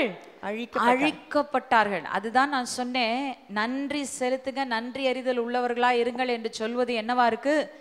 கட்டளையா இருக்கிறது. கவுன்சில் இல்லை. ஆண்டவர் கொடுக்குற ஒரு கவுன்சில் இல்லை. ஆண்டவர் கொடுக்குற ஒரு கமாண்ட்மெண்ட் இன்றைக்கு நாம் புரிந்து கொள்ள வேண்டும். நம்முடைய வாழ்க்கையிலே தேவன் மிக தெளிவாக சொல்லியிருக்கிறார். நன்றி அறிதல் உள்ளவர்களா இருங்கள் நன்றி செலுத்துங்கள். எல்லாவற்றிலும் எப்பொழுதும் நன்றி செலுத்துங்கள். செலுத்துனீங்கன்னா உங்க வாழ்க்கை எப்படிப்பட்ட வாழ்க்கையா இருக்கும்? வெற்றி வாழ்க்கையா இருக்கும். சூழ்நிலைகளிலே தேவனுடைய அற்புதத்தை கட்டவிழ்க்கிற வல்லமை அது நிமித்தமாக உங்களுக்கு தரப்படும் நீங்கள் பெற்றுக்கொள்வீர்கள் என்று சொல்லி நாம் பார்க்கிறோம். ஆனால் அதை செய்யாமல் போனால் முறுமுறுத்தால் நம்முடைய வாழ்க்கையில வரக்கூடியது என்ன? அழிவும் நாசமும் தான். இன்றைக்கு யோசித்து பாருங்க. எவ்வளோ முறுமுறுத்திருக்கிறீங்களோ? ஆண்டவர்கிட்ட இன்னைக்கு முதலாவது மன்னிப்பு கேட்டுருங்க. ஆண்டவரே மன்னிச்சுக்கோங்க. நான் முறுமுறுத்த காரியங்களுக்கு எல்லாவற்றுக்கும் எனக்கு மன்னிப்பை தந்து இன்றைக்கு நான் நீர் செய்த யாவற்றுக்காகவும் நன்றி செலுத்துகிறேன். எழுந்து நின்று ஆண்டவருடைய சமூகத்தில் ஒரு நிமிஷம். நாம் நன்றி செலுத்தலாமா? ஆண்டவருக்கு நன்றி சொல்வோமா? இன்றைக்கு ஆண்டவர் அற்புதங்களை செய்ய உங்களுடைய வாழ்க்கையில எதிர்பார்ப்போடு காத்து கொண்டிருக்கிறார். All he wants is a word of thanks from you ஆண்டவரே என்னுடைய சூழ்நிலையில நான் நன்றி செலுத்துறேன். ரட்சிக்கப்படாதவர்கள் உங்களுடைய குடும்பங்களில் இருக்கிறார்களா? அவர்களுக்காக நன்றி சொல்லுங்க. உங்களுடைய சூழ்நிலையில குறைவு இருக்கிறதா? அதற்காக இருக்கிற கொஞ்சத்திற்காக ஆண்டவருக்கு நன்றி செலுத்துங்க. மறித்த சூழ்நிலைகள் இருக்கிறதா? உயிர்ப்பிக்க வல்லமை உள்ளவர் என்னோடு கூட இருக்கிறீர் உமக்கு நன்றி என்று சொல்லுங்க. நன்றி நன்றி நன்றி என்று இந்த இடம் முழுவதும் நன்றினாலே நிரப்பப்படட்டும். இந்த ஹalleluya அந்த செய்தியை எங்க யார் கேட்டுக்கொண்டிருந்தாலும் உங்களுடைய வாய் இப்பொழுதே தேவனுக்கு செலுத்தப்படக்கூடிய நன்றினாலே நிரப்பப்படட்டும். மெய்யாகவே தேவனுடைய வல்லமை இந்த நேரத்தில் நமக்குள் கடந்து வர போகிறது ஹalleluya thank you jesus. எல்லாரும் சேர்ந்து நன்றி சொல்வோமா? நன்றி. சொல்வேனே. நன்றி சொல்வேனே, ஆண்டவரே. இயேசுவே. இயேசுவே, hallelujah. நன்மை செய்தீரே என் வாழ்க்கையிலே நீர் செய்த நன்மை யாவற்றுக்காகவும் நான் நன்றி சொல்வேன் ஹalleluya நன்றி நன்றி நன்றி நன்றி ஐயா. Thank you, நன்றி Jesus. ஐயா நன்றி தகப்பனே. நன்றி நன்றி ராஜா. Hallelujah. Thank ஐயா you, Jesus. We give you thanks, Lord. நன்றி நன்றி Hallelujah. நன்றி ஐயா Thank you, Jesus. Thank you, Father. நன்றி நன்றி உள்ளத்தின் ஆழத்திலிருந்து நன்றி என்ற வார்த்தை தேவனுக்கு முன்பதாக எழுப்பட்டும் Hallelujah. Thank you, Jesus. Thank you, Father. Thank you, Jesus. நன்றி இயேசுவே. நன்றி இயேசுவே. நன்றி இயேசுவே. Thank you, Jesus. Hallelujah. நன்றி நன்றி ஐயா நன்றி நன்றி நன்றி ஐயா நன்றி நன்றி. Hallelujah. சத்தத்தை உயர்த்தி ஆண்டவருக்கு சொல்லுங்க. நன்றி ராஜா. உங்க வாயை திறந்து உங்களுடைய சூழ்நிலைகள் எல்லாவற்றுக்காகவும் ஆண்டவருக்கு நன்றி செலுத்த ஆரம்பிங்கள் மறித்த சூழ்நிலைகள் இப்பொழுதே மாறிக்கொண்டிருக்கிறது. இப்பொழுதே தேவனுடைய வல்லமை சரீரங்களுக்குள்ளாக இறங்கி கொண்டிருக்கிறது தேவனுடைய ஆவியானவர் குறைவிருக்கிற இடத்திலே நிறைவை உண்டாக்கி கொண்டிருக்கிறார். தடைகள் எல்லாம் புரிந்து கொண்டிருக்கிறது. சிறையிருப்புகளை தேவன் மாற்றிக் கொண்டிருக்கிறார். அலலூயா அலலூயா எந்த வல்லமையும் உங்களை அடைத்து வைக்க முடியாது. ஆண்டவருக்கு உற்சாகம் உற்சாகமாய் நன்றி சொல்லுங்க. Your miracle is coming right now. Receive it in the name of jesus. நன்றி செலுத்தி பெற்றுக்கொள்ளுங்கள் பெற்றுக்கொள்ளுங்கள் பெற்றுக்கொள்ளுங்கள். ஓ ரபஹலப சந்தரபல குரனமமம the spirit of god is moving in our midst. தேவனுடைய ஆவியானவர் நம்முடைய மத்தியில அசைவாடி கொண்டிருக்கிறார். அற்புதங்களை செய்து கொண்டிருக்கிறார் ஹalleluya விடுதலைகளை கொடுத்து கொண்டிருக்கிறார். சரீரத்திலே விடுதலை சூழ்நிலைகளிலே விடுதலை. ஹalleluya குடும்பங்களிலே விடுதலை.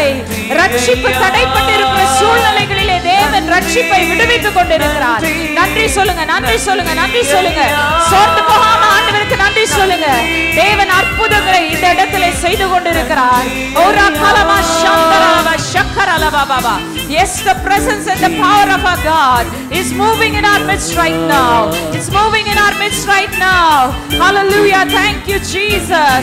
Thank you, Lord. Let your presence and your power bring a release right now, Lord. Bring release right now, Jesus. Release in the name of Jesus. நன்றி தகப்பனே நன்றி தகப்பனே நன்றி சொல்வேனே Thank you, Jesus. இயேசுவே நன்றி தகப்பனே நன்றி இயேசுவே நன்மை செய்தீரே Hallelujah. என் வாழ்விலே Yes, Lord. Yes, Jesus. கடலின் மீது நடந்திட்டவும் அற்புத பாதங்கள் எனக்கு முன்னே செல்வதா? எனக்கில்ல கவலை. காற்றையும் கடலையும் அதட்டியவும் அற்புத வார்த்தைகள். எந்த துணையாய் நிற்பதால் எனக்கில்ல கவலை. ஆராதனையே சூவுக்கே ஆராதனையே சூ இயேசுவுக்கே ஆராதனை இயேசுவுக்கே. ஆராதனை இயேசுவுக்கே. நீ சொன்னால் போதும் செய்வேன். நீர் காட்டும் வழியில் நடப்பேன். உம் பாதம் ஒன்றை பிடிப்பேன். என் அன்பு இயேசுவே நீ சொன்னால் போதும் செய்வேன். நீர் காட்டும் வழியில் நடப்பேன். உம் பாதம் ஒன்றை பிடிப்பேன். என் அன்பு இயேசுவே கடலின் மீது நடந்திட்டவும் அற்புத பாதங்கள் எனக்கு முன்னே செல்வதால் எனக்கில்ல கவலை. காற்றையும் கடலையும் அதட்டியவும் அற்புத வார்த்தைகள். எந்த துணையாய் நிற்பதால் எனக்கில்ல கவல. கடலின் மீது நடந்திட்டவும் அற்புத வாதங்கள். எனக்கு முன்னே செல்வதால் எனக்கில்ல கவலை. காற்றையும் கடலையும் அதட்டிய உம் அற்புத வார்த்தைகள். எந்த துணையாய் நிற்பதால் எனக்கில்ல கவலை. ஆராதனையே சுவுக்கே ஆராதனையே சுவுக்கே ஆராதனையே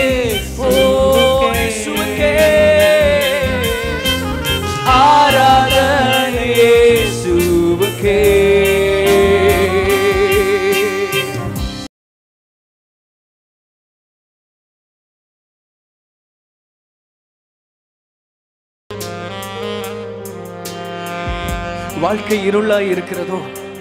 பிரச்சனைகள் உன்னை மூடுகிறதோ? சோர்வு அடைகிறாயோ? குழப்பம் அடைகிறாயோ? வழி தெரியவில்லையோ? இனி சூரியன் பகலிலே உனக்கு வெளிச்சமாய் இராமல் சந்திரன் கொடுக்கும் ஒளியை அது கொடாமல் நானே உன்னை உண்டாக்கின கர்த்தராகிய நானே உனக்கு நித்திய வெளிச்சமாய் இருப்பேன்.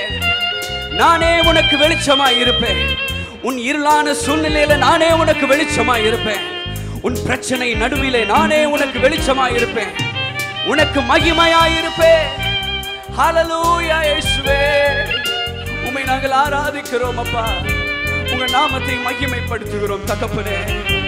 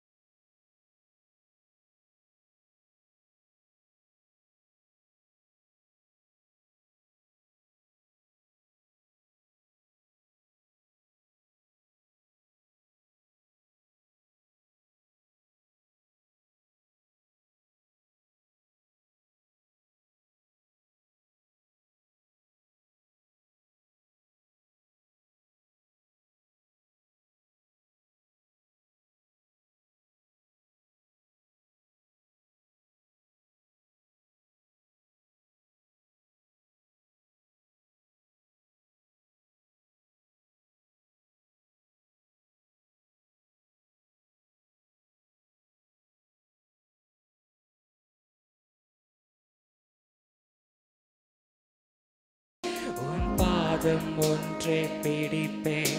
என் அன்பு இயேசுவே போதும் செய்வேன். காட்டும் வழியில் நடப்பேன். உன் பாதம் ஒன்றே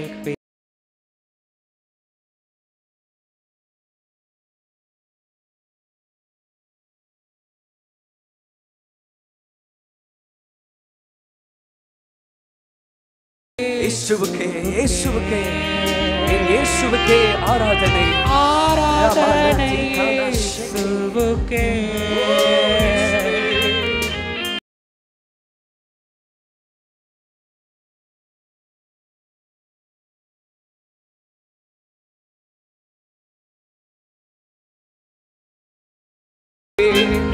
ஆராதனை இயேசுவுக்கே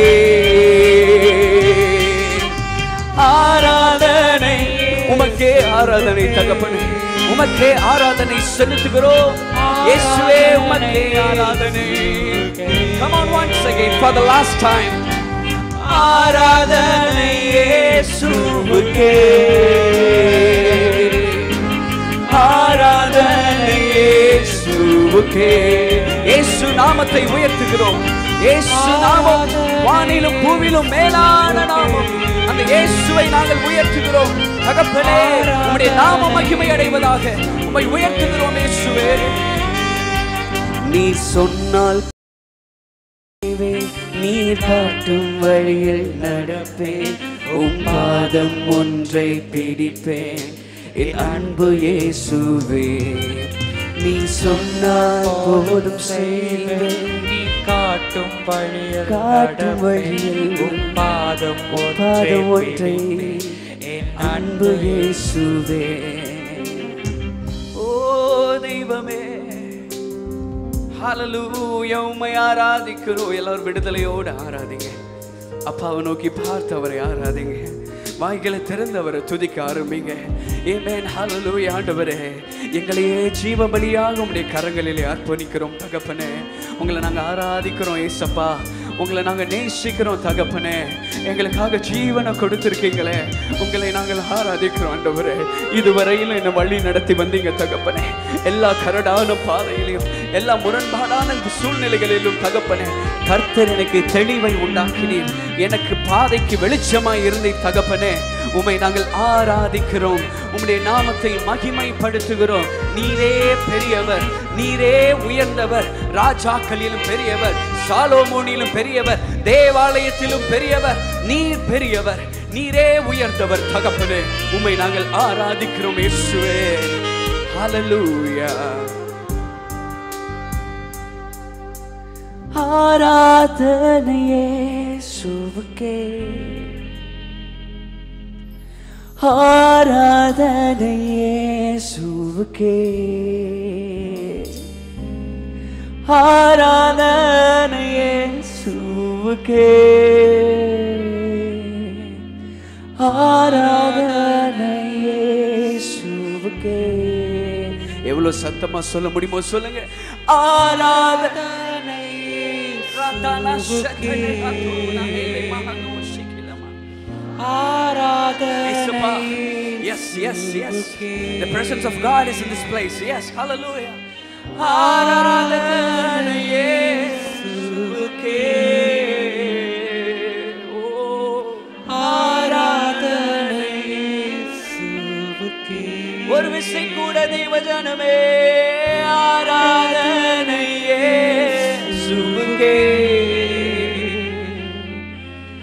ஆராதனை. நீ ஆராதிக்க ஆராதிக்க விடுதலை விடுதலை உண்டாகுகிறது. The lord. Yes lord yes lord. Thank you for the deliverance lord jesus. Amen. என்னுடைய கட்டுகளை கர்த்தர் உடைத்துக் கொண்டிருப்பதற்காக நன்றி செலுத்துகிறேன். amen amen. Jesus jesus jesus. என்னை மறவாமல் நினைத்தீரே தகப்பனே. உம்மை நாங்கள் ஆராதிக்கிறோம் தகப்பனே. எங்களை மறவாமல் நினைத்தீரே. ஒருபோதும் ஆண்டவர் எங்களை மறக்கவில்லை நீ நீங்க எங்களை நினைச்சனால தான் ஏசப்பா இந்த இடத்துல நாங்கள் நிற்கிறோம்ப்பா நான் உங்களை மறந்தாலும் நீங்க என்னை மறக்கவே இல்லையே. நான் உங்களை விட்டு விலகி போனாலும் நீங்கள் என்னை வெறுக்கவே இல்லையே தகப்பனே. ஏசுவே நான் உங்களை தேடி வரலப்பா. நீங்கள் என்னை தேடி வந்தீங்க தகப்பனே. அடி டடி இந்த இடத்துல நாங்கள் எங்கள் பதவியை விட்டுட்டு எங்கள் படிப்பை விட்டுட்டு எங்களுடைய ஸ்டேட்டஸை விட்டுட்டு ஆண்டவரே உங்கள் பாதத்தில் ஒரு குழந்தையா ஒரு அப்பாவோட முகத்தை பார்க்குற ஒரு குழந்தையா எல்லாவற்றையும் ஆண்டவரை வெறுமையாக்கி உங்கள் முன்னாடி நாங்கள் நிற்கிறோம் அப்பா. தகப்பனே உங்களை நாங்கள் ஆராதிக்கிறோம் டேடி. உங்களை அதிகமாக நாங்கள் நேசிக்கிறோம் இயேசுவே. இந்த நாளில் கர்த்தர் நீங்கள் பெரிய காரியத்தை செய்ய போகிறீங்க ஆண்டவரே. அது துவங்கி விட்டது தகப்பனே. கர்த்தர் நீங்கள் செய்ய போகிற காரியத்திற்காக நாங்கள் உம்மை துதிக்கிறோம் தகப்பனே. உம்மை நாங்கள் மகிமைப்படுத்துகிறோம் தெய்வமே. ஹalleluya மறவாமல் நினைத்தீரையா? மனதார நன்றி சொல்வே. மறவாமல் நினைத்தீரையா. மனதார நன்றி சொல்வே. இரவும் பகலும் என்னை நினைத்து இதுவரை உதவி நீரே இரவும் பகலும் என்னை நினைத்து இதுவரை உதவி நீரே நன்றி நன்றி ஐயா. கோடி கோடி நன்றி ஐயா. நன்றி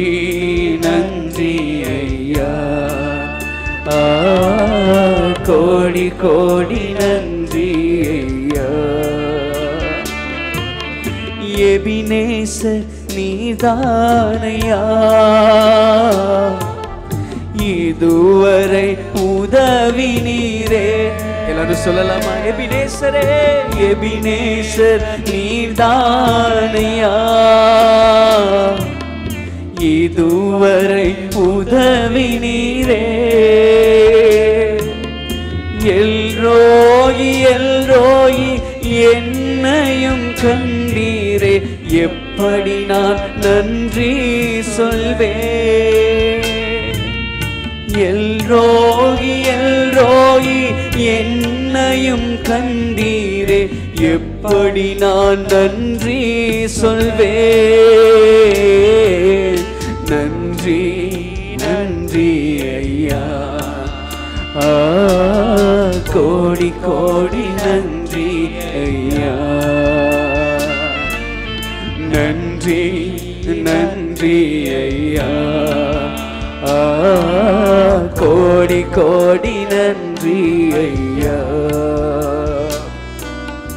நீங்க செய்த நன்மைகளை நினைத்த ஆண்டுவரே நான் உமக்கு எண்ணத்தை செலுத்துவேன் ஆண்டுவரே. ரட்சிப்பின் பாத்திரத்தை கையில் ஏந்தி ஆண்டவரே. ஓயாமல் உமை முத்தம் செய்வேன் தகப்பனே. உமை ஆராதிப்பேன் தகப்பனே. நானும் என் வீட்டாரும் ஓவென்றால் கத்தரையே சேவிப்போம். என் ஜீவிய காலம் முழுவதும் ஆண்டுவரே என் நாவு உமை துதித்து கொண்டே இருக்கும். என் உடம்புல மூச்சு இருக்கிற வரைக்கும் அப்பா உங்களை நான் பாடிக்கிட்டே இருப்பேன் ஆண்டவரே. உமை ஆராதிச்சுக்கிட்டே இருப்பேன் இசப்பா உங்களை நேசித்து கொண்டே இருப்பேன் தகப்பனே. நீ தான் ஆண்டவரே எனக்கு எல்லா தகப்பனே எவ்வளவு நன்மைகள் செய்திருக்கிறேன் எவ்வளவு நன்மைகள் செய்திருக்கிறேன் நான் நன்றி செலுத்துகிறேன் ஆண்டவரே.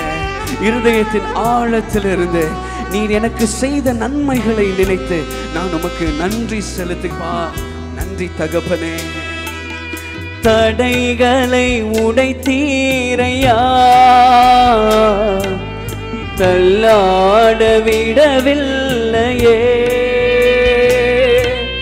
தடைகளை உடைத்தீரையா? தள்ளாட விடவில்லையே. அப்பா சோர்ந்து போன நேரமெல்லாம் தூக்கி என்னை சுமந்து வாக்கு தந்து தேற்றி நீரே. அன்று நான் சோர்ந்து போன நேரம் உங்க தோல்ல என்ன தூக்கி தகப்பனே. வாக்கு தந்து என்ன தேற்றி நீரே தகப்பனே. உமை நாங்க ஆராதிக்கிறோம்ப்பா. உங்க நாங்க மகிமைப்படுத்துகிறோம் ஆண்டவரே. நன்றி நன்றி ஐயா. ஆ, கோடி கோடி நன்றி ஐயா. எல்லாரும் உங்க கைகளை உயர்த்தி நன்றி நன்றி ஐயா. கோடி கோடி நன்றி ஐயா. மறவாமல் நினைத்தீரையா மனதார நன்றி சொல்வேன். Come on give thanks to the lord. Come on everyone. மறவாமல் நினைதீரையா மனதார நன்றி சொல்வேன். அப்பா இரவும் பகலும் என்னை நினைத்து இதுவரை உதவி நீரே இரவு நான் கூட அப்பப்போ உங்களை மறந்துடுறேன் அப்பா. என்னை மறக்காம ஆண்டவரே எப்பொழுது எனக்கு துணையா இருக்கிறீங்களே உங்களை நான் ஆராதிக்கிறேன் தகப்பனே. உண்மை நான் துணிக்கிறேன் சுவே நன்றி நன்றி ஐயா. கோடி கோடி நன்றி ஐயா. ஓ, நன்றி நன்றி ஐயா. கோடி கோடி நன்றி ஐயா.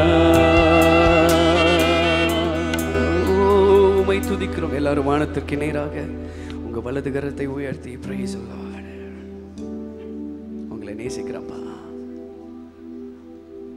உங்களை நேசிக்கிறேன் டாடி. வழி தப்பி போன ஆளு ஆண்டவரே நான். மெய்ப்பனே வழி தப்பி போய் முட்களுக்குள்ள மாட்டிக்கொண்டேன். வேதனைகளுக்குள்ள மாட்டிக்கொண்டேன். சந்தோஷமா இருந்தேனா ஏதோ ஒரு பிரச்சனைக்குள்ள மாட்டிக்கிட்டேன். வெளியே வர முடியலப்பா.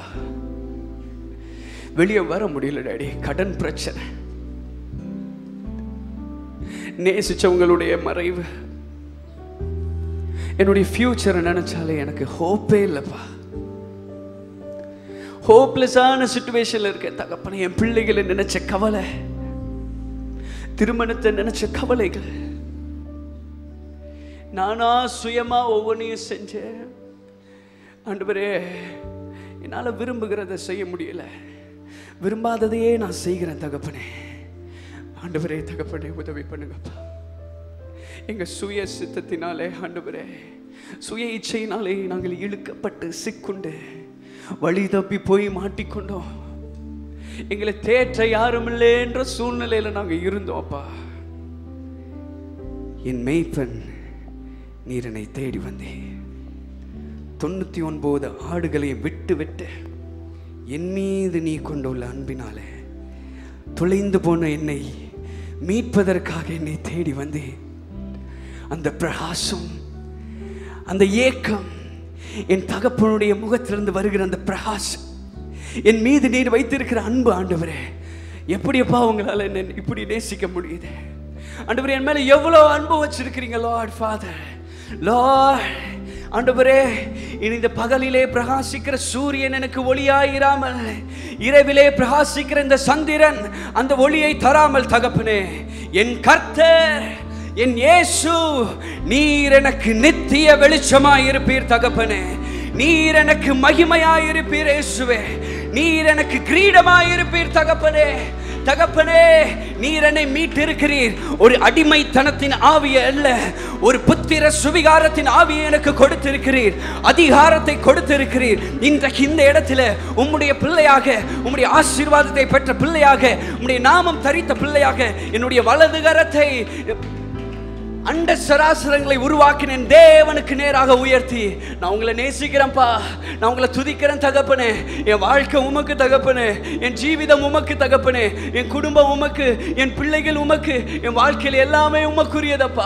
நீங்க இல்லைன்னா நான் ஒன்றுமில்லை ஆண்டவரே. உங்களுக்கு நான் நன்றி செலுத்துக்கிறேன் ஒவ்வொரு நொடி என்னை பாதுகாத்து வருகிறீங்க. உமக்கு நன்றி தகப்பனே. ஹலலூயா ஹலலூயா நன்றி. நன்றி ஐயா. ஆ, கோடி எவ்வளவு சத்தமா சொல்ல முடியுமோ தெய்வ ஜனமே. நன்றி செலுத்துங்க நன்றி செலுத்துங்க தகப்பனே. நன்றி நன்றி ஐயா. ஆ, கோடி கோடி நன்றி ஐயா. மறவாமல் நினைத்தீரையா. மனதார இந்த ஆராதனை நடுவில் அவர் உலாவிக் கொண்டிருக்கிற தெய்வ பிள்ளைய. அவருக்கு தேங்க்யூ சொல்லு. அவருக்கு நன்றி சொல்லு. ஏமேன் தேங்க்யூ சொல்லு. ரொம்ப பிரச்சனையில் இருக்கியா? பரவாயில்ல. தேங்க்யூ சொல்லு. கர்த்தர் எல்லாவற்றையும் நன்மையாய் மாற்றக்கூடியவர். அவரால முடியாத காரியம் எதுவுமே இல்லை. ஆராதி. அவருக்கு நன்றியை செலுத்து. ஹalleluya இதுவரை உதவி நீரே இரவும் பகலும் என்னை நினைத்து இதுவரை உதவி நீரே நன்றி நன்றி ஐயா. கோடி கோடி நன்றி ஐயா.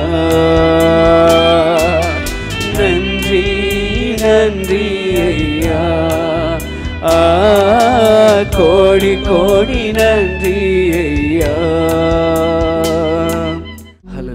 இருக்கிறார் கரங்களை தட்டி தேவனுக்கு மகிமை செலுத்தலாம். உங்களுடைய பாதத்திலே சமர்ப்பிக்கிறோம். உங்க நாம மாத்திரம் மகிமை அடையட்டும். எங்களோட பேசுங்கப்பா. எங்களோட பேசுங்க தகப்பனே. இயேசுவின் மூலம் ஜெபிக்கிறோம். ஜீவனுள்ள நல்ல தகப்பனே. ஆமேன். ஆமேன்.